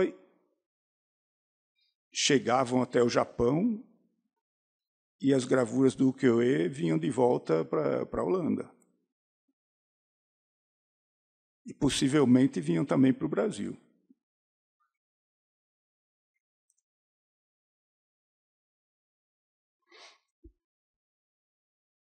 Bom, esse é o chamado Templo de Vesta ou da Sibila, em Tivoli, em Roma, que é, isso é um marco na, na paisagem ocidental, porque tem esse templo é, localizado num lugar extremamente privilegiado, que é na cidade de Tivoli, pertinho de Roma.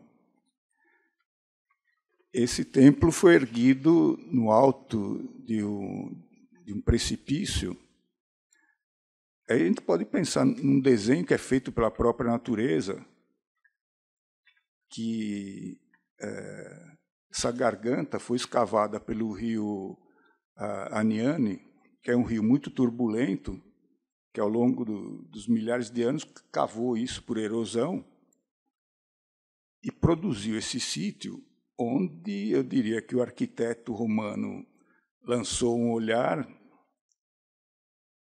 e escolheu exatamente o lugar mais adequado para esse templo e a forma do templo, que eu não consigo imaginar isso a não ser com planta redonda. Acho que aí o, o arquiteto soube encontrar a forma mais adequada para o, o templo dedicado à Vesta, nesse exato local, nesse exato local, ele tinha que ser arredondado, não podia ser quadrado. E ao colocá-lo nesse lugar, ele mudou tudo. Esse lugar virou um lugar de afluência, lugar obrigatório do Grand Tour da nobreza uh, europeia, era uma parada praticamente inevitável. Todo mundo ia lá ver a beleza desse lugar, inclusive os artistas. Agora, essas cascatas eh, que ornamentam o local, a gente pode pensar que são obras da natureza. Não são. Esse rio que escavou ao longo dos milênios essa garganta era um rio muito turbulento. As enchentes eram desastrosas. Então se tentou solucionar isso depois de desastres, igrejas, edificações destruídas. Vários papas tentaram, isso fazia parte dos estados papais. Finalmente foi resolvido de maneira adequada no século XIX. Então, essas cascatas fazem parte da obra que que elas foram perfuradas na rocha para diminuir a pressão da água, regulá-la, e faz parte da obra essa ponte e as duas praças laterais. Então, isso tudo foi feito de uma maneira que se associou perfeitamente ao que já existia e não prejudicou o templo de Vesta, que já era extremamente ilustre e cultuado. Então, esse é o vale com o rio uh, ainda turbulento que corre por ali, né? Muito bonito, você pode percorrer tudo pagando ingresso. Vocês vendo tem caminhos, bancos para descansar, né? E tem um monte de recantos lindos é, que atraíam os artistas, porque também tinha uma teoria em voga até o século XIX, que a paisagem era mais paisagem em Roma. Mais ilustre que em qualquer outro lugar, então era praticamente obrigatório ir para Roma, principalmente quem cursava uma academia de belas artes. E para Roma era interessante para estudar a grandeza antiga do Império Romano através das ruínas, que são as mesmas que os turistas fotografam hoje, mais bem cuidadas. Mas também a paisagem era mais ilustre, que se beneficiava de todos os mitos de uma época do ouro da, da humanidade, da Arcádia, da fundação de Roma, de Rômulo e Remo, etc., etc. Então, os pintores afluíam a esse lugar, como a tantos outros, mas esse era um lugar particularmente ilustre. E o templo de Vesta ou da Sibila ele já tinha sido abundantemente gravado e regravado. Nas imagens multiplicáveis e circulantes da época, que já circulavam numa escala muito maior do que na época do Rembrandt, no século XIX. Essa é uma gravura do Piranesi. Grande artista também.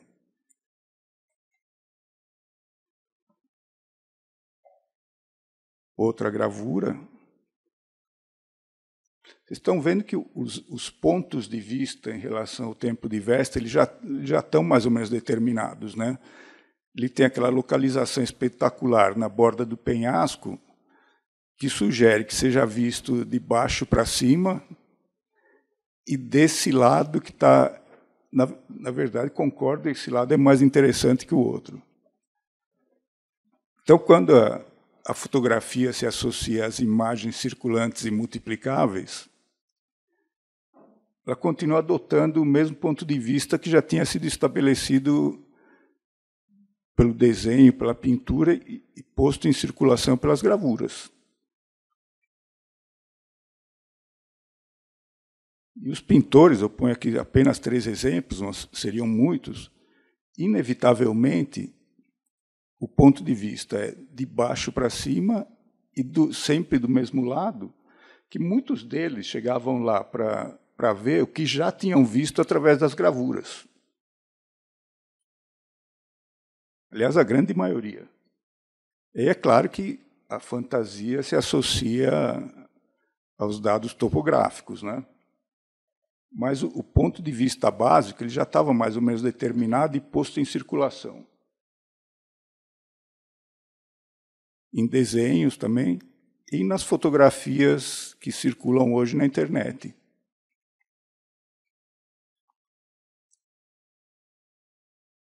O Corro, quando foi fazer as suas temporadas na Itália, ele se dirigiu para lá. Ele foi então, as, as, três viagens que o Corro faz para a Itália, eles são muito importantes para a formação dele. Ele percorre praticamente os mesmos lugares que todo mundo percorria mas o olhar dele é diferente. Então ele fez um desenho exatamente o mesmo ponto de vista que todo mundo fazia, mas também se dirigiu ao lado oposto para fazer uma pintura. Então essa, esse deslocamento do corpo no espaço ele é muito importante para o desenho. Você está desenhando, a hora que você se desloca, mesmo que não esteja traçando nenhuma linha no papel, nem tirando nenhuma foto com o celular o pensamento visual já está extremamente ativo. E é muito importante não se satisfazer com as imagens que são oferecidas de graça ou impostas.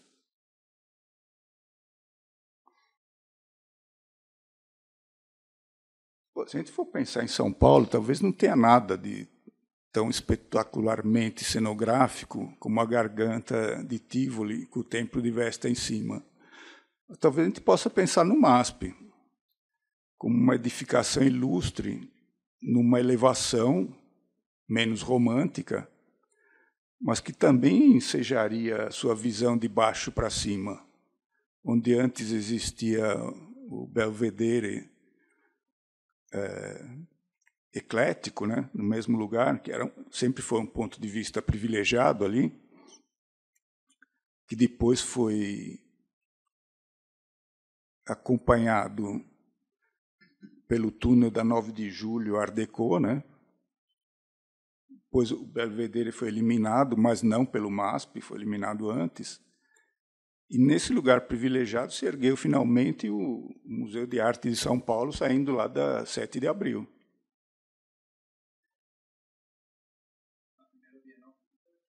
É, é, é, que, é, é aí que derrubaram o, o pavilhão temporário acabou com o Belvedere do, do Ramos de Azevedo. Se a gente for observar o MASP hoje, é claro que não tem uma garganta tão profunda para dar aquele ponto de vista espetacular do templo em Tivoli. Mas tem algumas outras coisas que só atrapalham. A gente desce até a 9 de julho, tem uma passarela que se soma à entrada do túnel para desvalorizar o MASP, que talvez seja o edifício mais icônico de São Paulo.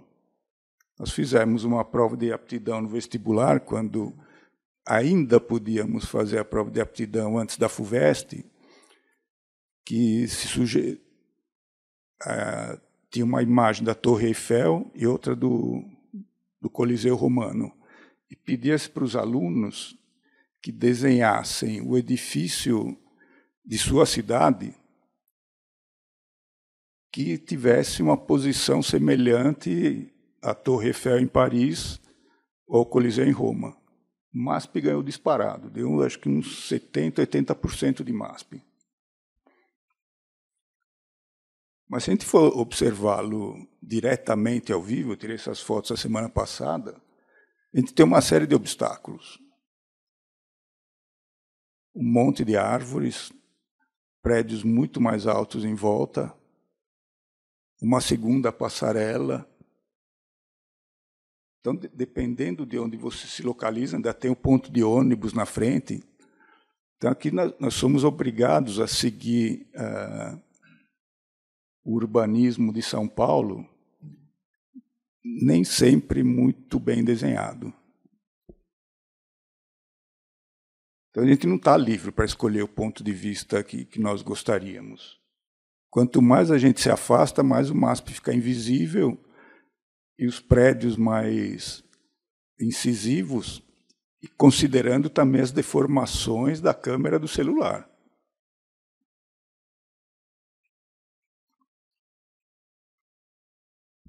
Agora, do outro lado, isso era o belvedere do, que antecedeu o MASP, a visão era sempre privilegiada. Você via o, uh, o centro da cidade.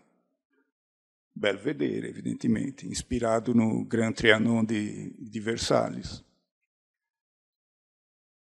Se não me engano, uma das razões do, do MASP ter aquela forma é preservar o Belvedere.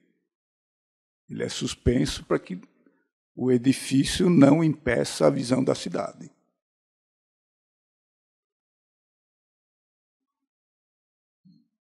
Só que já não dá mais para enxergar o centro.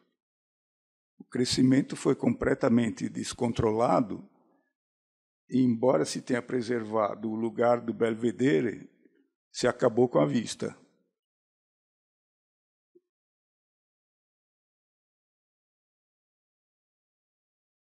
Agora, o MASP também ele é ligado a, esse lugar do MASP também é ligado a um rio, como o templo de Vesta em Tivoli, né? Avenida 9 de Julho era um rio, o Riacho Saracura. A Avenida 9 de Julho foi uma fazia parte de uma tentativa do prefeito Prestes Maia de criar avenidas radiais que facilitassem o trânsito já caótico em São Paulo em, função do seu crescimento desorganizado. A única coisa que foi realizada de fato foi a 9 de julho. Agora, uma das razões também para se fazer a 9 de julho era valorizar terrenos privados ao longo do córrego Saracura, que fazendo uma avenida ali eles iam ganhar muito em preço.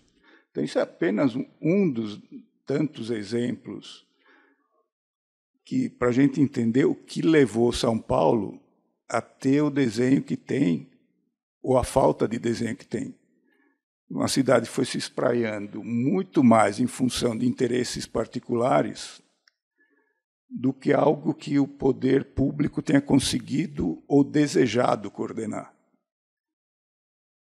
E aí você ergue barreiras como essa em frente ao que seria um, um mirante natural, em função de, uma, de um crescimento urbanístico com, completamente desordenado em função de cada interesse localizado de cada construtora.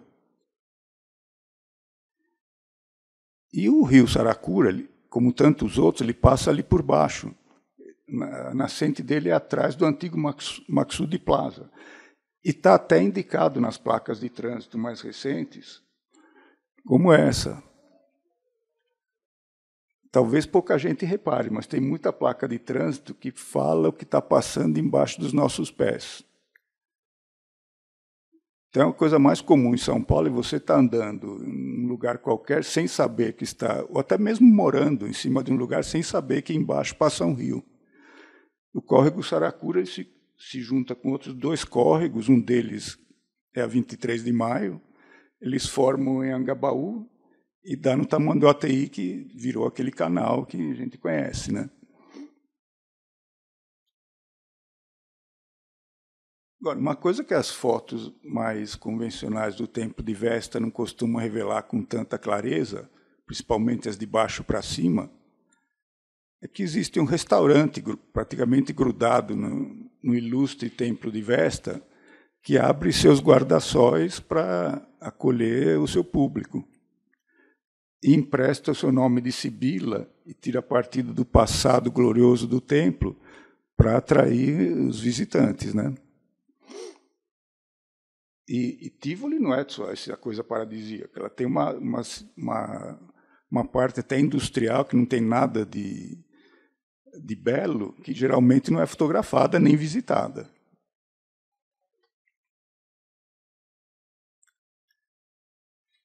Agora, numa cidade clássica, renascentista, uh, o desenho da, dos espaços,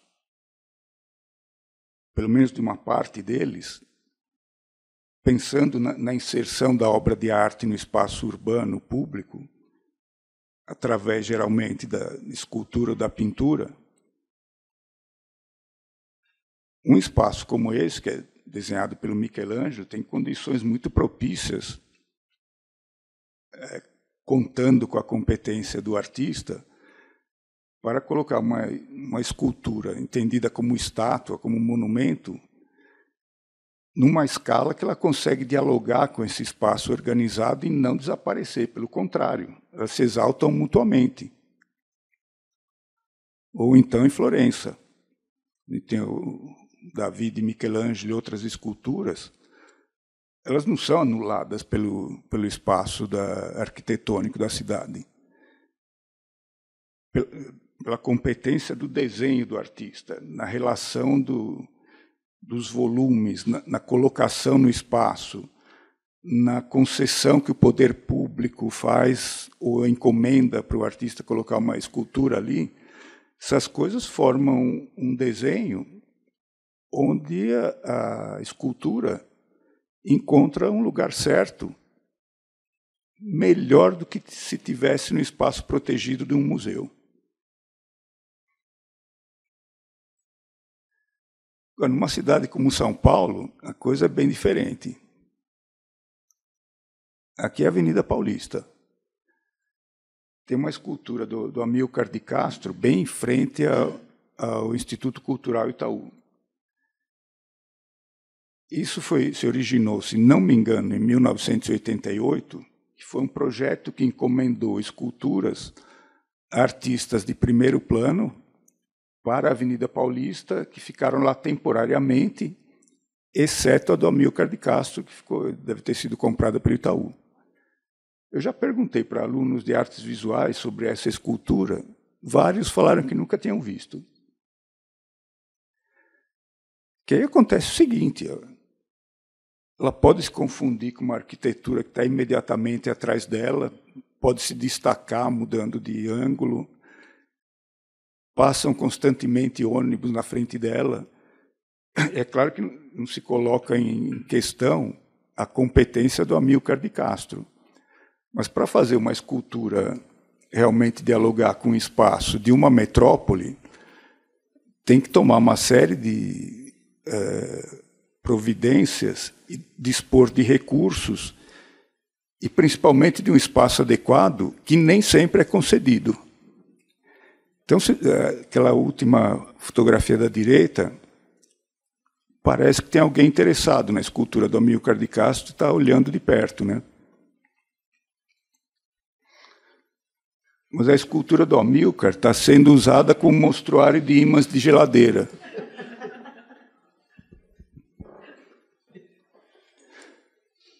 Então é, é até duvidoso se boa parte do público passa por ali identifica essa escultura como arte. Que ainda se tem uma, uma noção muito arraigada da escultura como estátua que, que glorifica ou pretende glorificar personagens históricos, heróis ou assassinos. Essa noção de escultura como estátua está muito mais difundida pela sociedade do que uma escultura construtiva como a do Amilcar.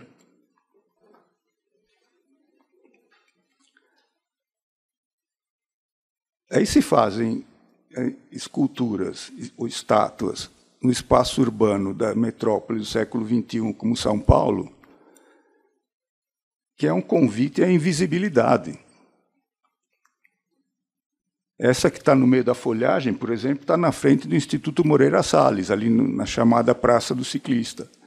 Ela está quase invisível pela, pelas plantas que a circundam. Então, ter uma intervenção artística através uh, de, de, algum volume no, no espaço público é, é algo extremamente problemático. E eu diria que o espaço público não é apenas uh, o espaço físico, mas é também o espaço mental da sociedade. E se a pessoa passa do lado de uma escultura como a Milcar de Castro e não identifica aquilo como arte, não adianta muito ela estar ali como obra de arte. A situação parece um pouco melhor para a intervenção pública através da pintura hoje em dia. Tem havido um certo número de pinturas nas tantas empenas cegas dos prédios de São Paulo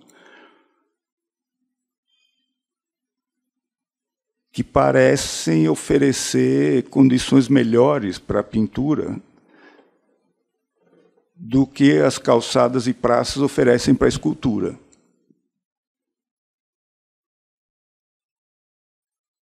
Só que está acontecendo isso em São Paulo. Todo mundo já deve ter reparado a quantidade de canteiros de obras e construções destruídas. Pós, no meio da pandemia isso se multiplicou, né, e continua a todo vapor. O resultado está sendo esse. São prédios predominantemente de vidro que não oferecem mais empenas cegas para pintura. Então, não quero fazer futurologia do que pode acontecer daqui para frente. Apenas constatando um fato. E para a escultura ah, ter condições adequadas de visibilidade num, num contexto urbano com esse tipo de desenho, ela precisa de um espaço muito adequado. Essa aqui está chamando, conseguindo chamar a atenção na Paulista. É um grande número de figuras, evidentemente inspiradas em todas as vias crucis de todos os tempos, que estão servindo de fundo para selfies. As pessoas param, admiram e ninguém pensa em grudar um imã de geladeira ali. Que talvez isso seja identificado como obra de arte que merece mais respeito.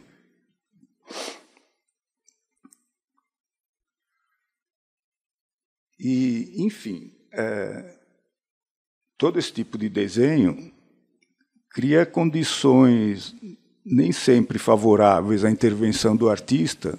Não, não diria que é impossível, mas precisa de, de competência, espaços, talvez um, um, bom, uma boa circulação uh, nos governos municipais e estaduais para conseguir espaços adequados.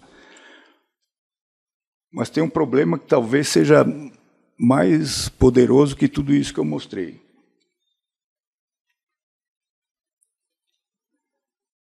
As imagens multiplicáveis e circulantes via celular, além de produzirem um, um equipamento portátil sempre presente, extremamente adequado para registrar aquele olhar que você lança sobre o mundo,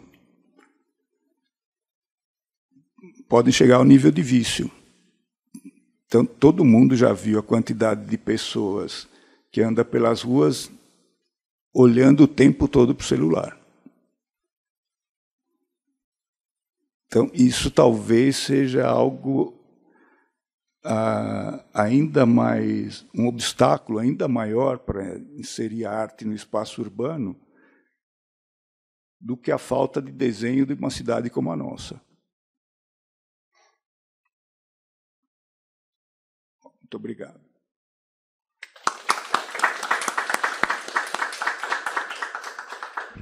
Muito obrigado, Marco. Bom, vamos então para a última fala da, da tarde.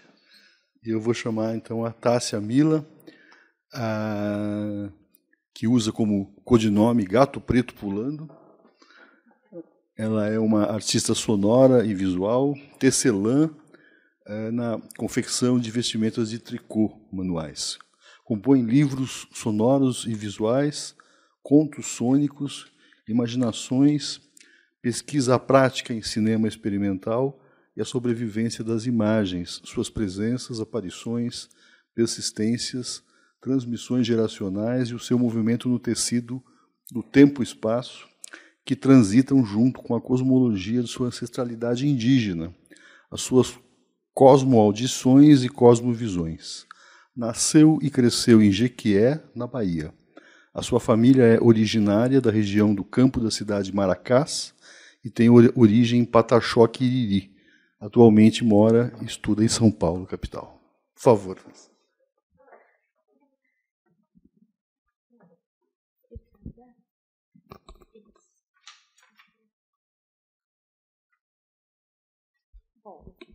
Olá, boa tarde, todo mundo. Né? É um prazer estar aqui hoje com vocês, o convite do, do professor Barak, né?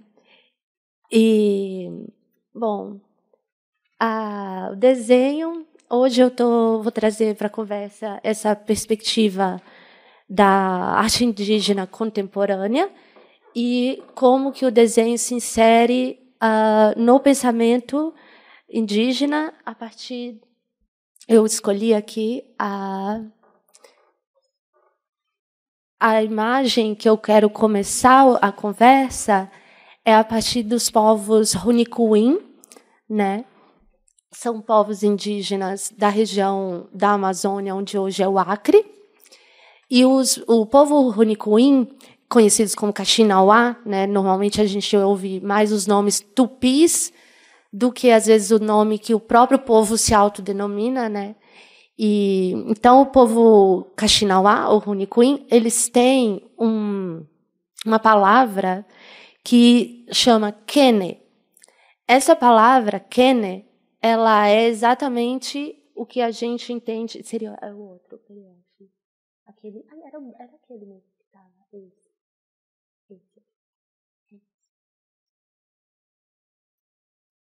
É, essa palavra kene é uma palavra que significa exatamente desenho, traço e grafismo, né, na, na tradução. E é engraçado assim porque a palavra arte ela não existe no mundo indígena. Em nenhuma língua indígena existe essa palavra arte. Mas existe a palavra desenho e traço. E para falar então desse dessa espécie de tradução, né, entre os mundos, há que se pensar também no sentido assim uh, dessa opacidade que a gente tem na hora de traduzir esses termos, né? Eu gosto de introduzir assim, pensando a opacidade, para justamente é, as coisas não são transparentes, né? Então tem, uma espécie de trânsito entre os mundos em que a gente está vendo essa, essa essa espécie de de quase que eu chamaria até mesmo de um universal real, quando a gente vê esse essa conexão desde a, a, a, o que a gente conversou até agora, assim, né, nos diferentes contextos. E aí, é, aqui, começa assim, conta esse mito Runicuim, que é essa jiboia a jiboia sidica, que é ela que traz os traços, os desenhos.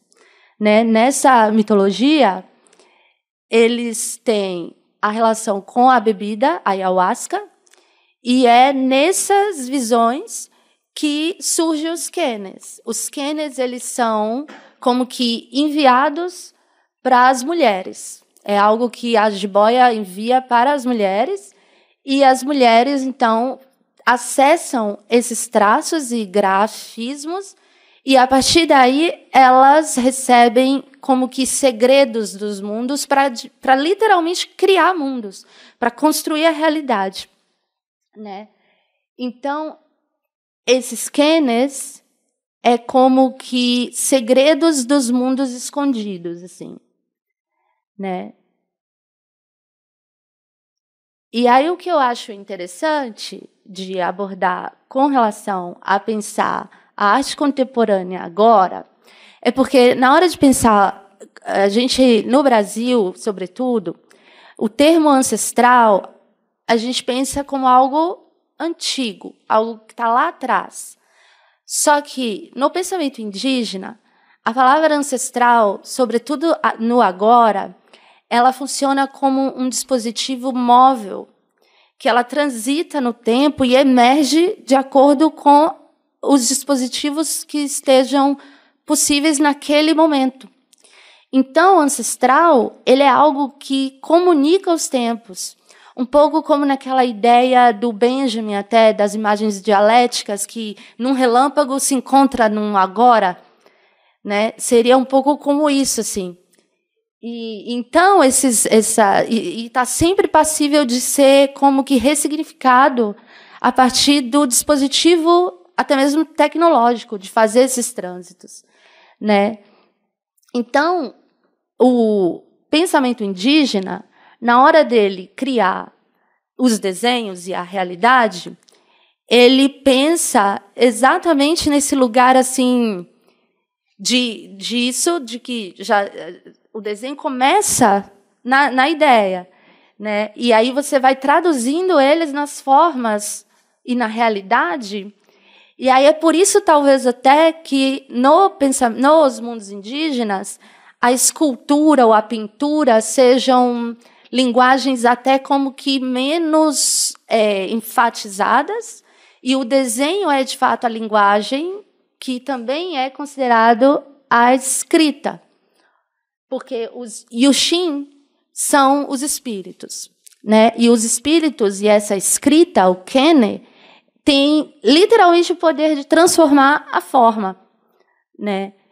E então é, eu acho curioso, porque ouvindo a conversa de todos até então, e talvez enquanto indígenas seja então também como que um tipo de cosmologia e um tipo de estética, porque aí a gente pode também pensar que, embora não haja a palavra estética também nos, nas línguas indígenas, há palavras que denotam conceitos próximos com o essa ideia estética da arte a partir da, da escola ocidental, que é como que uma ideia de a arte, ela tá, esses scanners, eles estão conectados com a ideia da tecelagem e da própria construção de um mundo em que você, em que o próprio viver e a vida em si, os gestos, os instrumentos,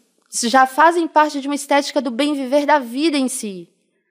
De, então, pro, a, a, pintura ela não é tão privilegiada no pensamento indígena quanto o desenho, ou, ou a pintura e o desenho também não há tanta distinção entre a, ambas as linguagens, porque aquilo que talvez para a escola ocidental seria a pintura, no mundo indígena é, é direto no próprio corpo, é direto as representações que seriam como que figurativas elas se dariam, elas se dão muito mais já direto no seu próprio corpo, no, no próprio, na forma de construir os espaços em si, né?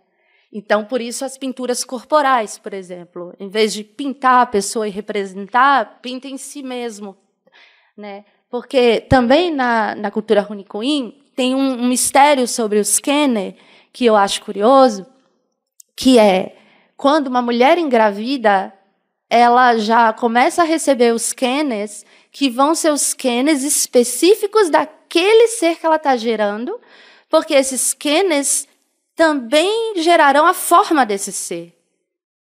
E, e, daí, então, criar esses grafismos no rosto e, de, e, desenhar de determinadas formas ou ângulos que vão como que moldando a forma.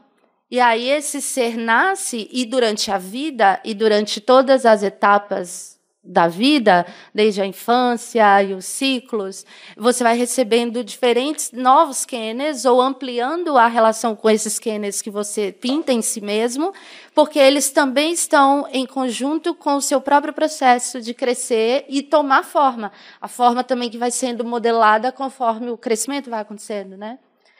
Que, que talvez é o que a gente chame de fenótipo, né? Então, o Ken ele estaria dentro dessa linguagem misteriosa do, do DNA e, ao mesmo tempo, do fenótipo também, o, o, tempo inteiro. E aí a tecelagem ela tem nesse, nessa, nessa cosmologia um papel fundamental, assim, porque é na tecelagem que eles vão organizando toda a forma social mesmo, assim, né? E as mulheres, elas são as que recebem as, as imagens, né? E elas vão transformando essas imagens em tecidos. E esse pássaro é o pássaro originário lá da, da região amazônica, que é o, jaipu, o ja, japins. Confundi com o jaipu, que tem um outro pássaro também que chama jaipu. Mas os japins, eles são os pássaros que cantam os quene. O, o pássaro ele recebe também o Kenner e ele canta de modo a também passar essa transmissão pelo canto dele, né? E e aí elas vão tecendo, né? Elas vão fazendo o processo desde o início, desde a colheita do algodão e, e colocando esse algodão nos teares, tal. Né? E o cantar, justamente, é um processo é, intrínseco nessa, nessa dinâmica toda. Né? Entre colher o algodão, fazer toda a coisa e ir criando esses tecidos. Né? E aqui alguns exemplos de imagens que estão no museu, no acervo do Museu Memorial dos Povos Indígenas. O Museu do Índio também tem muito acervo dessas tecelagens todas, e são todas tecelagens que, que, já, que haviam antes até da colonização. Já, já havia esses, porque os povos Runicuim, eles estão ali, os Nokekoi também, né, que é um povo praticamente irmão, assim, é, eles são, eles fizeram parte do, do Império Inca também, que também tinha muito tecelagem, né, e, e tal. E aqui é um exemplo também desses grafismos nas miçangas. Essa, esse mural foi feito uns anos atrás, em 2016, na, exposição lá no Rio, que ele é todo feito como se fosse uma colcha de retalhos de miçangas de vidro. E as miçangas, elas são um material que surge para os povos indígenas no Brasil depois da colonização, era um material desconhecido, mas que é apropriado nesse reconhecimento de que com as miçangas é possível fazer tecer, né? E as cores, né? As miçangas meio que encantaram os povos originários aqui por causa da potência de cores que elas têm, né? E esse é um exemplo assim de um, de um mural e das miçangas de vidros que, que a gente vê muito também né, nas pulseiras, nos adereços. E para o mundo indígena faz sentido justamente vestir essas coisas todas. Então dá para conversar muito também com, com o, o, a esfera do design, né, de pensar como isso também se traduz em vestimentas, em, em até nos objetos utilitários mesmo, né? E aí eu gosto de pontuar essa parte aqui, né? porque pensar como que esse trânsito ele vai então sendo trazido para a arte contemporânea.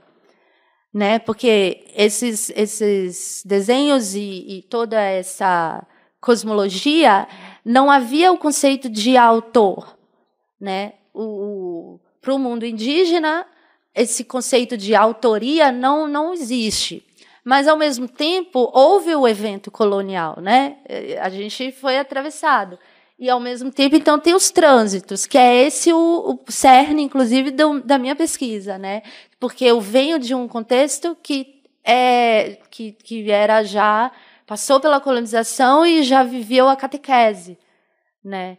Então eu sou atravessada por toda uma mundos de trânsito, literalmente, assim, em que as coisas vão sendo vários gestos e coisas indígenas que já estão como que é, dentro de um contexto que já é visto até mesmo como cultura brasileira, né? E aí instiga de pensar o que é justamente isso que a gente constrói, que tem sido feito enquanto Brasil.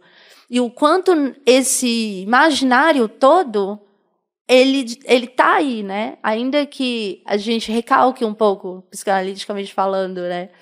É, e tá ali, né? Tá ali o tempo inteiro, assim. É.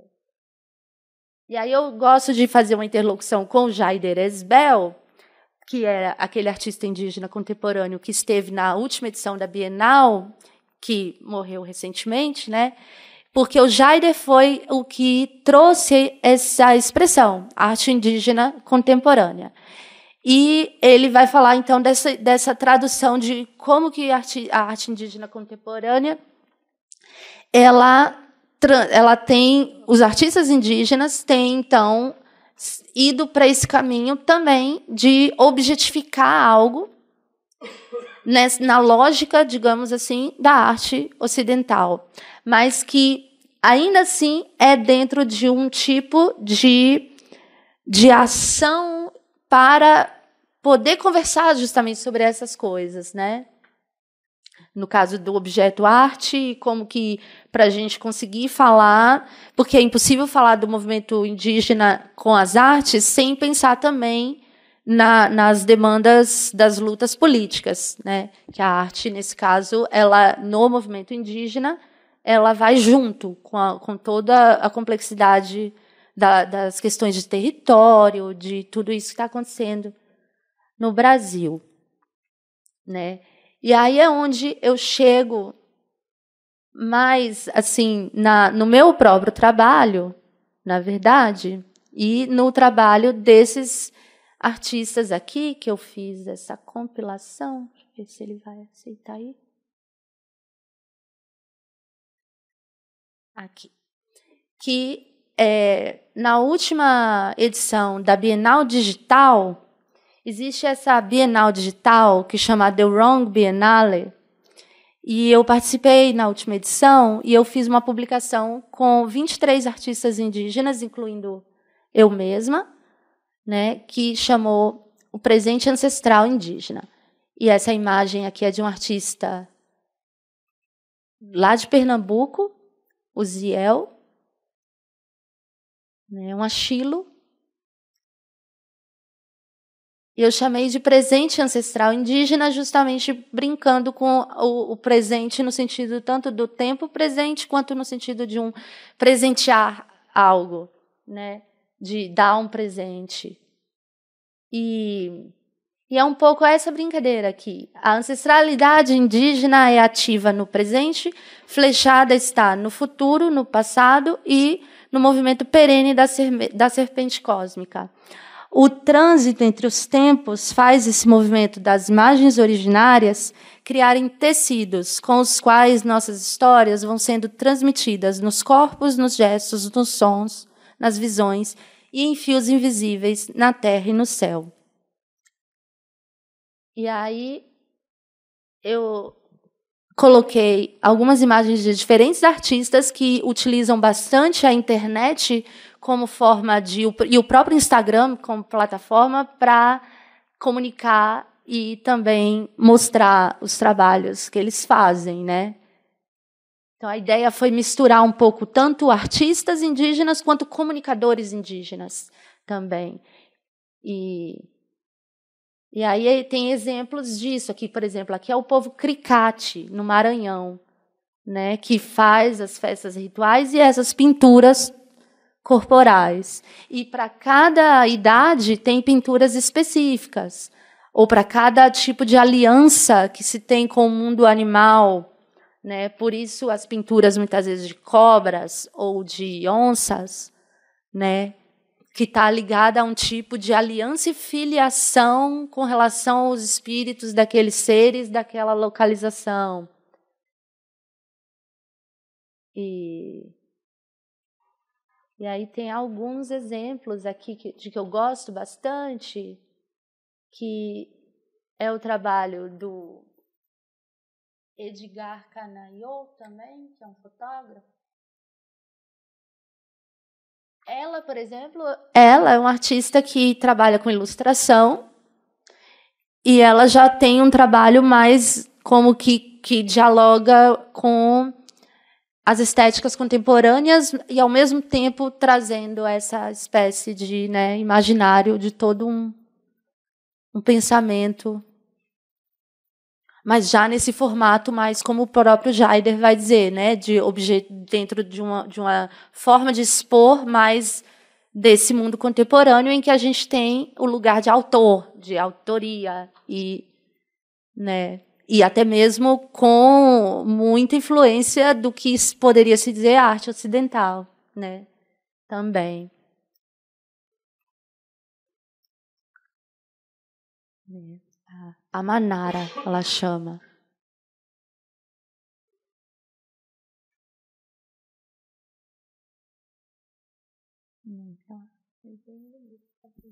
Esse é o meu trabalho. Esse aqui é um exemplo de algo que eu tenho no momento trabalhado, que são alguns já faz 10 anos agora isso, que eu criei um, uma malha em processo digital, no Photoshop mesmo, né?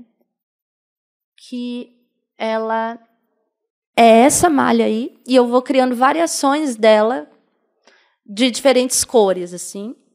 E eu tenho trabalhado ela de forma audiovisual, de forma a criar vídeos e, e colocar em movimento como que essa a partir dessa uma imagem porque é a imagem, é uma imagem que, que me evoca a os próprios a ideia dessa desse scanner, né, de como que seria como que uma malha que vem e aí eu eu coloco ela como uma colagem digital, uma montagem que é uma montagem possível de ser montada de várias maneiras, né? Não há uma regra. E, e aí eu, eu monto elas, às vezes, de diferentes jeitos, como se fossem tapetes mesmo, assim, né? Ou podem ser vistas assim também. Eu, no momento eu estou criando um vídeo que eu tento para ir mudando ela de forma que dê, que dê para sentir movimento também. Que aí parece que ganha muito mais a dimensão do que para mim é essa ideia de pensar nesses, nessas imagens que a serpente estaria trazendo e, e, da, e né, presenteando até. E um outro jeito que eu gosto de brincar com elas é nessa, né, nessa, nesse jeito assim mais digital, né? É assim, aqui, por exemplo, como que você pode brincar igual aqueles brinquedinhos de criança em que você vai mexendo como se fosse um joguinho em que você pode pegar elas e mover de diferentes formas e né, que que são possíveis assim. Ou, por exemplo, no um exemplo de de vir, ah, não está indo, ele não deixou, mas tudo bem. E o trabalho do Edgar, por exemplo, tem esse também, esse artista Apache, ele americano, né? ele traduz bastante os grafismos numa lógica que dialoga muito com a estética do hip hop, da pichação, né? Ele tem um núcleo de skate, então ele tem feito todo um trabalho com a comunidade Apache, em que eles vão fazendo todo um movimento mais urbano e às vezes a gente não associa indígenas em coisas assim, né? Porque o Brasil ainda tem, acho que não só o Brasil, mas eu acho que o mundo ainda tem essa ideia do indígena como algo que estaria atrasado e vivendo no passado de uma forma é, que não evoluiu. A gente usou a palavra né, evolução e, e, e, e não, né? São formas temporais mesmo, numa outra velocidade. Como se dá essa velocidade das coisas? na hora de experienciar e ir construindo os espaços e construindo a matéria. E, e aí a, a, a, o mundo indígena ele está em conjunto com esse mundo atravessado e as tecnologias não, não lhe são estranhas, né? O, o mundo indígena é, é, traduz muito, muito facilmente as tecnologias para usar essas linguagens assim. E ele tem um trabalho que dá para notar bem isso. E, e eu gosto bastante do Edgar, que ele faz, ele fotografa bastante as mulheres, as danças e essa conexão das aranhas, né, das aranhas com o próprio corpo físico mesmo, que, né, E aí, é, acho que é uma forma aqui de concluir que ele coloca assim o selfie do outro, né? Porque o indígena e os povos originários foram chamados, foram vistos como uma espécie de grande outro, né? Distante. E, e para o mundo indígena, o branco também era o outro, né? E aí ele fala a imagem como ferramenta de resistência, antes de mais nada, uma resistência do tempo e da memória né, de conhecer a si mesmo e o outro nesse tempo capturado pelo que ele chama de corpo-câmera, sabendo o poder que a imagem possui e a pessoa quer se mostrar a partir de como ela se sente representada, né? Então, o indígena contemporâneo ele sustenta essas formas tradicionais, digamos assim, né? Também porque essas formas tradicionais nunca deixaram de ser presentes. Elas não é como se elas fossem atemporais, né? E daí o conceito ancestral também está ligado a essa noção de uma certa mobilidade no tempo que que é sempre atualizada, né? E, e pintar o corpo é uma forma de como que fazer updates até, porque você vai criando novos grafismos o tempo inteiro. É passível de inventando novos novos desenhos e novas formas de pintar o próprio corpo. E há também no movimento indígena essa busca, como eu mesma, eu demorei muito, o desenho foi o que me levou para as artes, né? Desde muito novinha. E eu tinha essa dificuldade de achar que eu não desenhava bem, talvez. Porque a minha tendência é mais traços e outros jeitos, que só depois eu fui entender também o quanto isso tem a ver com a forma de olhar o mundo a partir da própria cosmologia indígena que então não necessariamente vai ver e querer representar das formas clássicas né, europeias. Ao mesmo tempo que é atravessado esse jeito, é, essa plasticidade, forma de olhar consagrada, digamos assim, a partir da escola europeia, ela é curiosa também, né? Então, você tem muitos artistas indígenas trabalhando essas formas. A própria Dayara Tucano, que ela tem feito um, umas pinturas de aves que acho que dá até para fazer um certo paralelo com a relação também de que o Japão passou historicamente também. Acho que dá para criar dá, tem conversas nesse lugar com relação a essa forma. Eu fico pensando de como vários artistas indígenas também têm aderido a, a uma plasticidade que ela está aí porque o olho está vendo, né? E é capturado também. Então, uma vez que você está no mundo e, e, vendo, e por que não também brincar com as formas, inclusive com estéticas, inconscientemente ou não, do outro, né? E Porque a troca em si faz parte do, do, do pensamento indígena. O indígena, num certo sentido, hipoteticamente falando, a, se a colonização não tivesse acontecido da forma que aconteceu, com a violência toda, a troca em si, o indígena acha isso curioso, interessante, essa noção de trocar mundos. É, esse, esse gesto em si, né, de trocar mundos. Então você tem um quê também dessas estéticas já indo do mundo como agora, que a gente é atravessado também por influências inconscientes que a gente vê por aí, dos filmes, da, né, que, que não, não necessariamente vai ser um purismo de, de pensar também a arte indígena como algo que sempre tenha que estar cristalizado naquele exato tipo de, de traço como né, os mais tradicionais. Ou como esse tradicional ele, é, ele vai sendo modificado até. E tudo bem também. Então é isso, assim, acho que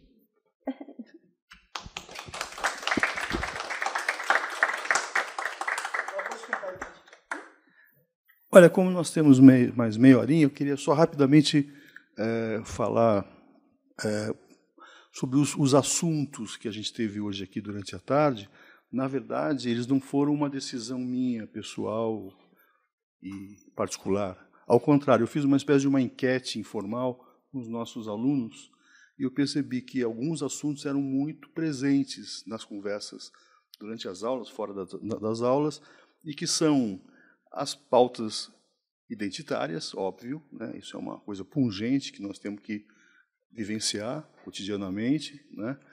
A, a questão do, do, desenho e a cidade, né?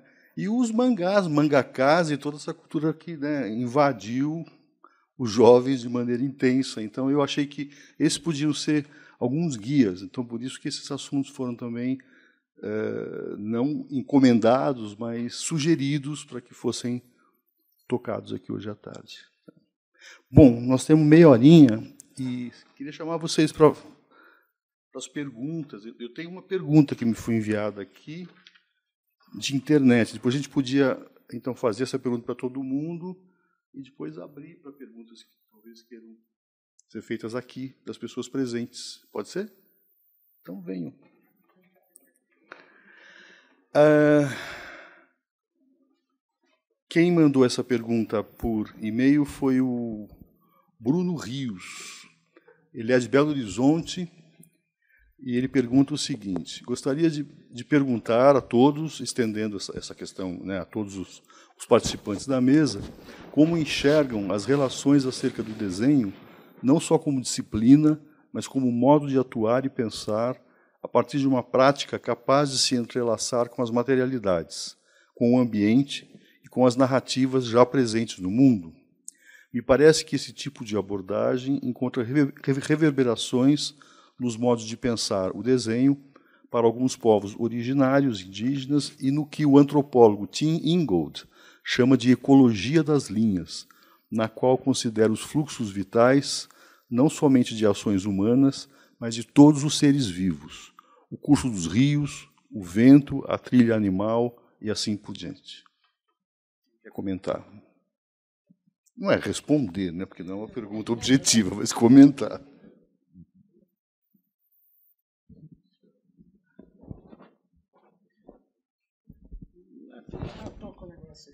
Deixa eu ver.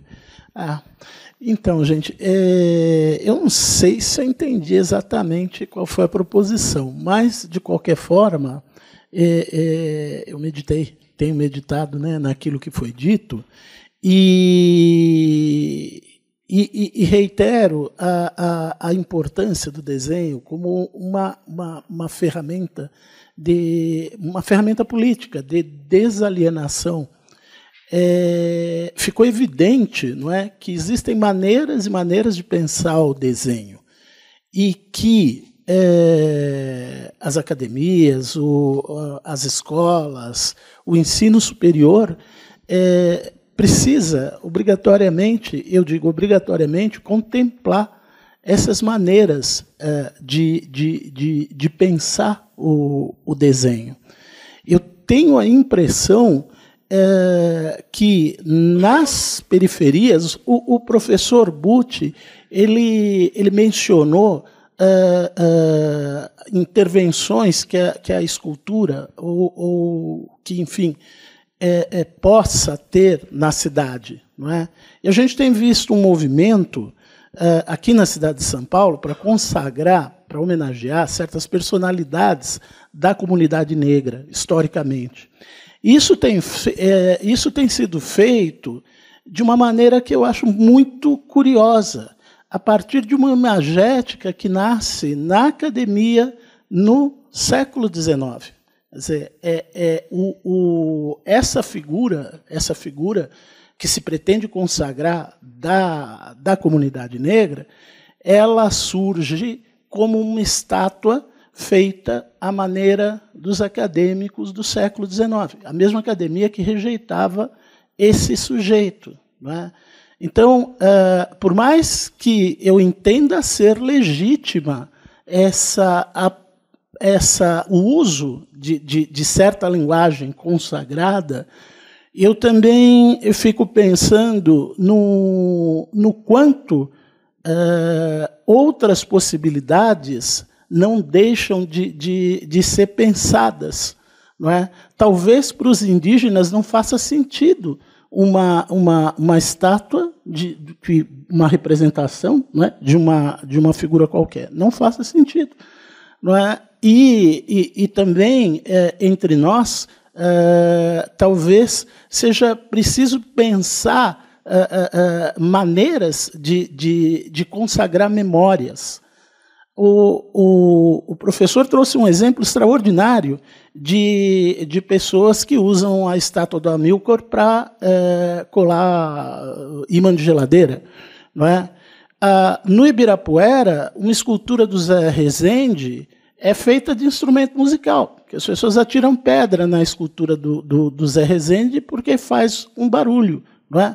Agora, as pessoas que atiram pedra ou usam o imã de geladeira não conhecem, ou, ou não reconhecem naquele objeto essa, esse, esse status que, que nós é, é, consagramos ou, ou, que nós é, é, é entendemos que ele tem.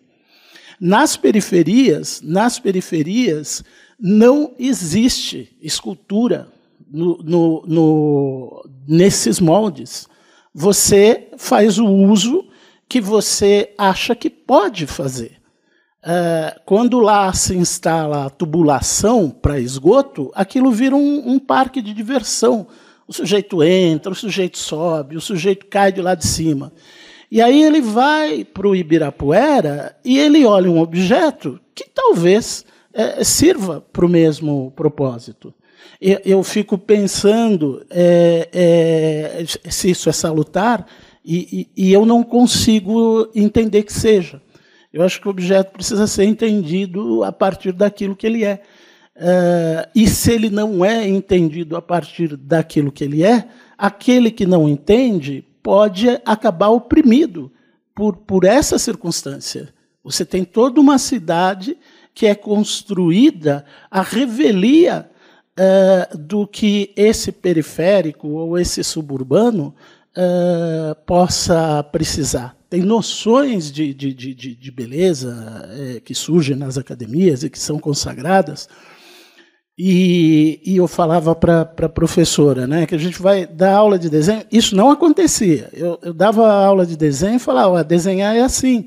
Né? Vamos usar é, é, os sólidos geométricos, vamos pensar aqui em certas estruturas e tal, para chegar a um determinado objetivo. Só que hoje a gente fica pensando há maneiras e maneiras de desenhar. E a figuração, é, é, é, como a gente entende, a, a, cópia mimética da realidade, corresponde a uma possibilidade entre, entre várias. É, então, sei lá, eu continuo entendendo o, o pensar o desenho como uma ferramenta é, fundamental para desalienar e para prospectar memórias. É, o, o professor também trouxe o exemplo do celular. Né? é, eu, eu queria deixar uma preocupação. Uh, certa juventude e certa infância proletária está perdendo a sua memória em função do celular. Porque a imagem que é ali registrada não é descarregada, não é guardada, vai para a nuvem, a nuvem tem dono.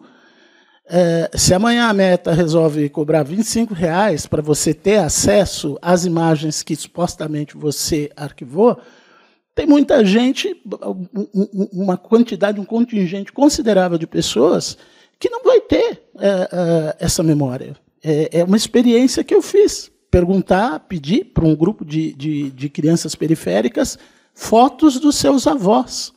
Essas crianças periféricas, na sua maioria negras, não tinham fotos desse. Isso cria um hiato é, que não é só afetivo, é de história também.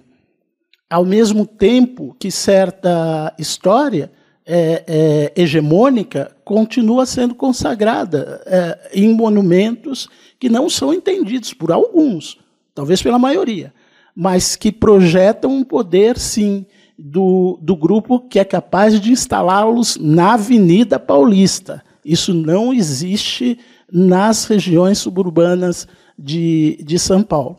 Então, e, e aliás, regiões é, que talvez um, um, pintor viajante do século XIX achasse pitoresca, porque é, é, é assim que às vezes elas são vistas, né, como algo pintoresco, passível de ser pintado por alguém que não é o periférico.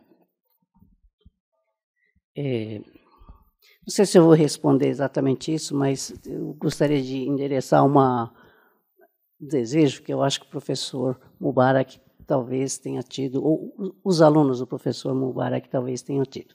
Me parece que mais de metade dos alunos que ultimamente entram para fazer artes plásticas é, gostam de mangá ou gostariam de fazer mangá. Eu mesmo conheci vários e para o curso de japonês a coisa é, é também recíproca. É, muita gente vai aprender o japonês porque é leitor de mangá e quer traduzir os mangá ou já traduz em, em modo online, livre, né? É, então, o mangá realmente é um grande poder né, da mídia japonesa é, e muita gente fica fascinado pela, pelo motivo, né? Mas por quê, né? Mas por que o mangá uh, calou tão fundo em uma certa geração, né? É, começar pela francesa e depois indo para a americana, né? E brasileira, né? É, tanto que virou a política de Estado da Secretaria da Cultura japonesa fazer o Cool Japan, o Japão legal, o Japão é, soft power, né? o, o poder é, das mídias, o poder é, da televisão, dos quadrinhos, das soap operas, né? das, das músicas, dos J-horrors, enfim, essa, essa, essa parte da, do entretenimento. Uma das questões que me levam a pensar né, na razão de tal atração, talvez tenha sido uma coisa que na cultura japonesa está presente há muito tempo, é a variedade, a riqueza é, de detalhes, de personagens, de situações é, que esses mangá e esses filmes e, e, essas músicas, esse soft power, né, é, representam e mostram. Né, é, desde o início. Então, é, é, não importa só o protagonista, mas o antagonista e as suas sombras. Não importa somente é, o drama, mas também a comédia né, e a farsa. Então, todas essas coisas, elas meio estão, é, estão juntas. E eu acho que isso aqui é, não, não, não deixa a pessoa enjoar.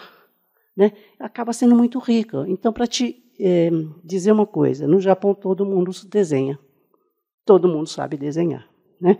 porque desde, desde primário, desde sempre, você já tem aulas de caligrafia, você tem aulas de desenho, e muito sofisticadas. Né? A escolaridade de, de lá é período integral, então as crianças com 11 anos estão fazendo xilogravuras. Né? as senhoras, ah, digamos, eh, mães que estão nos seus lares, todo ano fazem os RH, que né, os cartões postais de ano novo, com kits de xilogravura ou de serigrafia doméstico, Né? Então, é, há sempre uma, uma, uma motivação para o desenho e estão tá, sempre desenhando. Se a gente olha assim os, as revistas japonesas, é uma profusão de estilos de desenho e, e letra e tudo misturado, né? que eu acho que isso é, é, é muito rico. Né? É, não sei, o Roland Barthes dizia que o Japão é um, um país é, de signos, né? a semiologia é, do Japão e tal. Mas a gente pode dizer que, também que ele via signos visuais em tudo no Japão, porque ele não sabia ler o Japão, né? não sabia ler japonês. Então tudo virava hum, estético, né? Então tem esse lado também. Mas a gente vê que é um país, né? É uma cultura é, do Japão é, muito visual, em tudo. Né? Se come com o olho. Né? A culinária japonesa está ali para provar isso. Né? É, se veste com o olho. Né? É, então, acho que uma popularidade para mangá e as mídias japonesas seria, me parece, é, essa colaboração também. Porque não existe a, o autor, né? essa questão do autor. Né? É, é, tudo muito colaborativo, né? como, como o cinema hoje em dia, mas, mas a pintura já era. Né? E a gente vê isso no sistema eh, de produção dos, eh, dos trabalhos. Né? É, Hokusai é um nome, um nome. Ele teve né, centenas, não digo, mas dezenas, dezenas, né? E, e, as filhas dele parece que faziam também, e, enfim, ficava, ele ficava com a, com a fama, enfim. É, Para quê? É um nome, é um nome. Não é importante é a obra. Então tem essa essa questão de não ser, é, enfim, que, que o desenho é coletivo, é apreciado coletivamente, né? Criticado coletivamente. E se ele me der um palpite legal eu posso ah legal vou fazer assim né? E, e a, a, crítica nunca é destrutiva é sempre para agregar. Então ah, no, você pode ver que nos gêneros de mangá tem mangá para criança para adolescente para menino para menina para senhora para senhor para jovem com muita estamina né? para quem gosta de guerra, para quem gosta de romance, para quem gosta de menino, menina, menina, menina, é, enfim, né? para tudo. Tá? Então, acho que é uma das razões do sucesso do mangá, que sem as pessoas entenderem muito, mas percebem e não se entediam, porque está sempre diferente, sempre tem uma história. Né? Usar o suspense, né? É, usar as regras é, de manter a atenção é, do outro, né, é uma, um recurso bastante é, utilizado na, na, arte japonesa, na, na literatura japonesa, como sempre. Perfeito, Mandar. Vocês querem comentar alguma coisa da, da pergunta? Eu acho que é, pegando um gancho no que foi dito já, Acho que isso evidencia o papel da, que a escola deveria ter. Que a gente não pode ter esperanças, seria um excesso de otimismo, que apenas a arte sendo exposta a todo mundo tenha tamanho poder de atrair e ser compreendida. A gente, aqui, a gente tem umas três horas para conversar. Isso mostra apenas o, o quanto se deveria falar e mostrar para explicar esses mecanismos. Tem formas predominantes de arte geralmente acompanham os poderes predominantes. Quando você tem uma, por exemplo, a formação, essa separação bastante ocidental do, do artista como uma figura uh, destacada da sociedade, que faz uma academia de belas artes, torna um especialista, uma figura digna de ser admirada, eventualmente virar estátua também em cima de um pedestal transforma todos em ignorantes. Parece que, ele é um conhecimento que está vedado a todos, quando, na verdade, uma coisa que você falou, que, que o desenho, na verdade, supera todas as, as barreiras de, utilitárias, de uso estético, etc. Todo mundo tem capacidade de desenhar, desde que não haja modelos impostos, sejam quais forem. É, é um processo de descoberta e é uma prática política, assim como diz o Claudinei, que é uma questão política de cidadania, de democracia, cada vez mais premente, que o conjunto da sociedade saiba entender o que é feito com todos nós através do audiovisual. Pode ser olhado no, no celular tem tudo isso, né? As, as melhores manifestações, desde que se saiba procurar, até a manipulação mais grosseira e torpe. E as pessoas estão muito menos aparelhadas do que deveriam em relação a isso.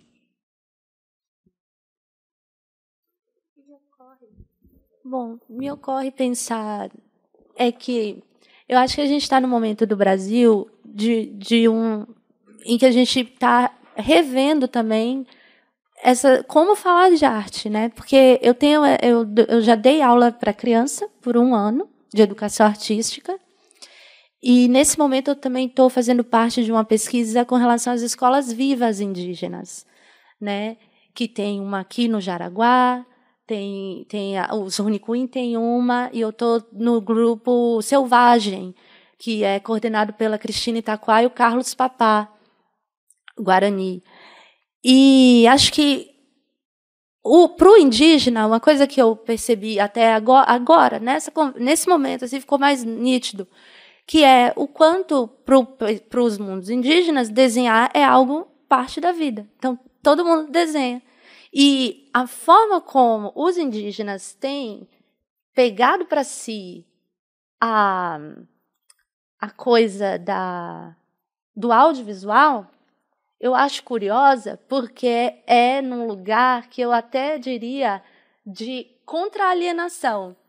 Há esse lugar também, essa espécie de paradoxo, quando você vê, por exemplo, esse artista indígena, o Richard, ele é guarani aqui do Pico do Jaraguá.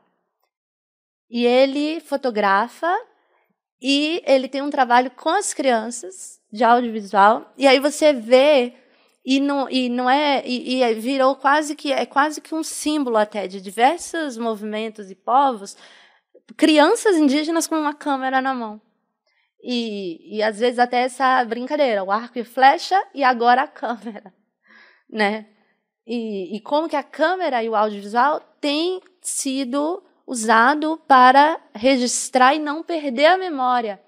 Então, no meio dessa bagunça toda, o caos todo que a gente está, né, em que essas linguagens podem ser facilmente manipuladas, um, eleições manipuladas, ou essa perda de como a gente. Então, eu, eu noto que é uma questão também de muita mediação. O como a gente vai conversar e levar para as escolas, de repente, novas gramáticas até de falar desses assuntos, de, de, de, inventar novas palavras, inventar novos jeitos de conversar esses, esses assuntos e essas arestas que criam esses paradoxos complicados, né? Então é um pouco isso, assim. É isso. Bom, sem querer criar nenhum fecho, mas eu acho que uh, tem uma ideia que está posta nessa, nessa pergunta, que é, uma, é mais uma situação que ele coloca, né? que me traz a seguinte questão. Tudo que está nessa sala foi desenhado. Tudo. Né?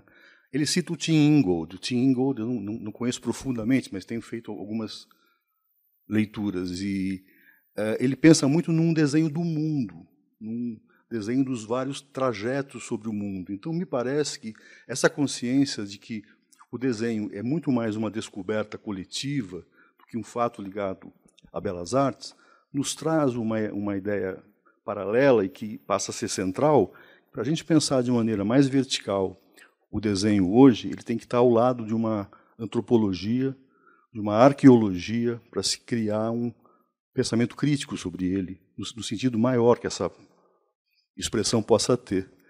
E eu não vejo lugares tão privilegiados para isso acontecer que não sejam na universidade. Né?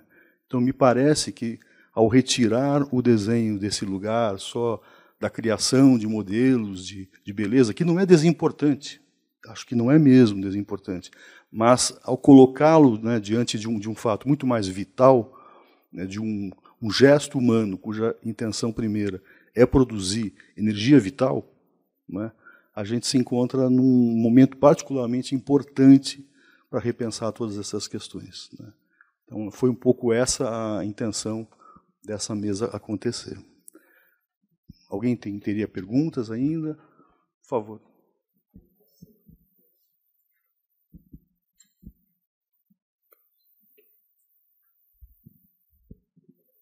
Então vou passar para você, Marte. Ah, tá bom. Bom, inicialmente eu queria destacar a presença do professor Marcos Buqueride, é um dos coordenadores do programa Eixos Temáticos. Obrigado, professor, pela presença. Um, eu, eu acho que a relação entre o Tim Ingold e algumas das coisas que foram comentadas tem uh, muito a ver. Uh, isso porque o Tim Ingold ele fala sobre essa experiência de observar os fenômenos da vida como coisas, né? E nisso ele distingue essa obsessão que a gente tem de opor sujeito e objeto. E com, com essa narrativa ele traz uma expectativa de fomentar vida em tudo, nas coisas mais banais da nossa experiência cotidiana. Então a mesa, o copo, nossas meias, tudo seriam coisas, tudo seria, tudo seria um arranjo de moléculas vitais com muitas vidas e que acabam imprimindo experiências a serem renovadas. É uma forma de se contrapor a essa, como a gente fala, é, antropocentrismo, né? E, e uma das coisas que me tocou foi esse convite a refletir na fala de vocês sobre a experiência do desenho como vida, e por isso que eu acho que tem um, um atravessamento aí com uma, uma possibilidade de ser atravessado pelo Tsingud, né? É, pensar nesse exercício de fabricação das ideias antes mesmo dos desenhos existirem como vida e, e o apontamento da política de morte, essa denúncia né, das políticas de morte que atravessam muitas das instâncias de ensino-aprendizagem. Eu acho que quando a gente fala de necropolítica, a gente faz é, um movimento importante né, de, de interpelar, como a Lúcia costuma declarar, interpelar a própria universidade sobre o que tem sido feito, né, questionar, problematizar e tensionar esse espaço. E, reconhecidamente, os nossos currículos ainda são muito eurocentrados. Né? E e, e eu acho que isso devolve para a instituição, essa mesa devolve para a instituição é,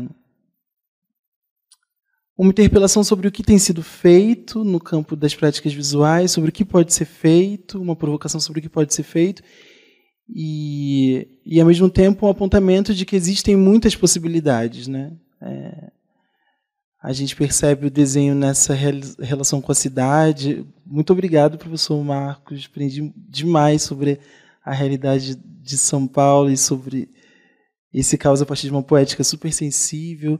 A gente aprende sobre a negação do entendimento sobre o fazer, né?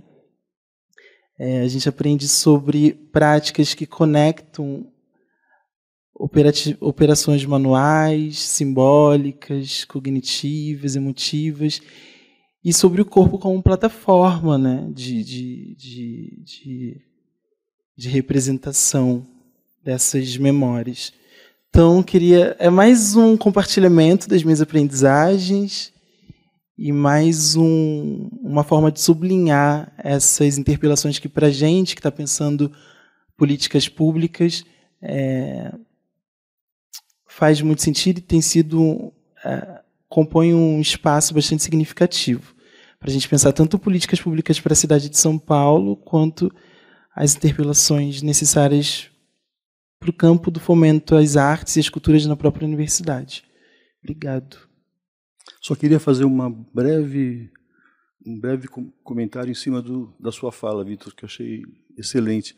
Ah, você usou a palavra fabricação, né?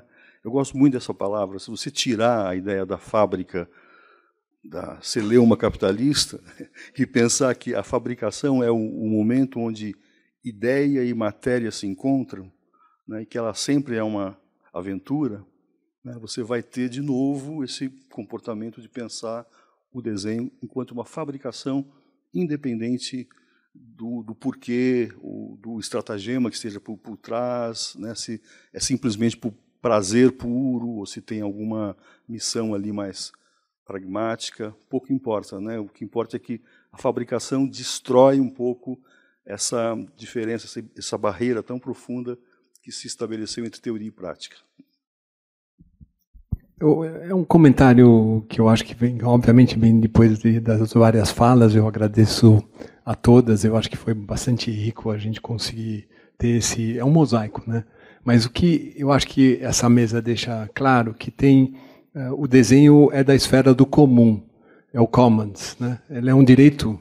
A gente tem que ter o direito ao desenho. E, e o desenho como né, seja a Madalena, é, o Claudinei, né? É, enfim, vocês todos é, demonstraram que é, existe um campo comum e, e, e, a criança talvez seja o melhor exemplo mesmo, né, Claudinei? Essa, essa ideia que está lá, e até tem um livro do IEA agora que eu, eu, eu acabei não folhando muito, mas é sobre as ocupações uh, da cidade de São Paulo e desenhos que foram feitos das crianças que moram nessas ocupações. Então não foi a escrita que uh, uniu uh, essa, essa, essa vivência, esse, essa, esse espírito de coletividade que se tem numa ocupação, né? mas foi através do desenho das crianças. Eh, e e eu, eu, mas ficou uma, ficou uma tensão, porque o, o Esbel faz, ele, ele, ele, ele faz uma, um lance muito conceitual, mas muito preciso. Ele pega a expressão arte contemporânea, afasta a arte contemporânea e põe a palavra indígena no meio. E isso é um gesto político. É, mas ele, é, a, a, a mirada dele é muito certeira, porque a mirada dele é no sistema da arte. E às vezes eu acho que o grande exercício de nós que temos uma relação com a arte é fazer esse sentido inverso, de, de pensar a arte, obviamente a gente tem que pensar nas nossas especificidades, nas especificidades da arte, no percurso da arte. Eu acho muito muito propenso falar uh, esse exemplo que você deu da evolução, né, desse raciocínio que a gente sempre teve que, que a arte ocidental é o, é o pináculo né, do, do, desse, desse, de uma arte universal, quando a gente fica muito claro numa, num debate como vocês. Não foi um, um debate, mas foi, no fundo, para mim, ficou um debate. Como, como o desenho denota essa, essa nossa capacidade de sermos, assim, coletivamente algo uh, né, que produz um, uh, alguma coisa, mas que também tem a individualidade. E eu, eu entendo que, é, uma vez que. Como é que a arte pode devolver isso para a sociedade? Esse pensamento mais. que não, seja, não só é político, que eu acho que tem aí vários momentos da arte que são extremamente claros né, e deixam né, uma tensão em relação à sociedade e ao poder dessa sociedade, mas, ao mesmo tempo, é, Uh, eu, eu, entendo que esse, essa especificidade às vezes torna a coisa muito endógena, né? Como você começou, né, Cláudio? Tem uma coisa endógena que obviamente faz parte de qualquer produção de conhecimento, mas como a gente faz esse percurso inverso? Como a gente começa a criar um diálogo maior com essa, talvez primeiramente com a universidade, que eu entendo que a gente está fazendo isso, e depois com a sociedade, ou, ou simultaneamente, né? É, então tem esse, esse, esses dois percursos que eu acho que são muito interessantes. Eu acho que esse é o grande trabalho, né? tem uma na, na, introdução da história da, da linha do Tim Ingold, ele diz que quando ele se formou como antropólogo e tal, no primeiro momento ele ficou absolutamente desgostoso com tudo aquilo, porque ele começou a ver o que, que era antropologia, onde ele tinha se metido e tal. Aí ele resolveu se amarrar no mastro de uma caravela e atravessar o Atlântico, sentindo todos os ventos, tempestades e tal. Passou depois dessa grande viagem ter se reconciliado e ter entendido que ele era de verdade um antropólogo. Talvez nos falte nos amarrar no mastro de uma caravela e atravessar o Atlântico. Acho que é isso. Encerramos então? Muito obrigado mais uma vez pela oportunidade.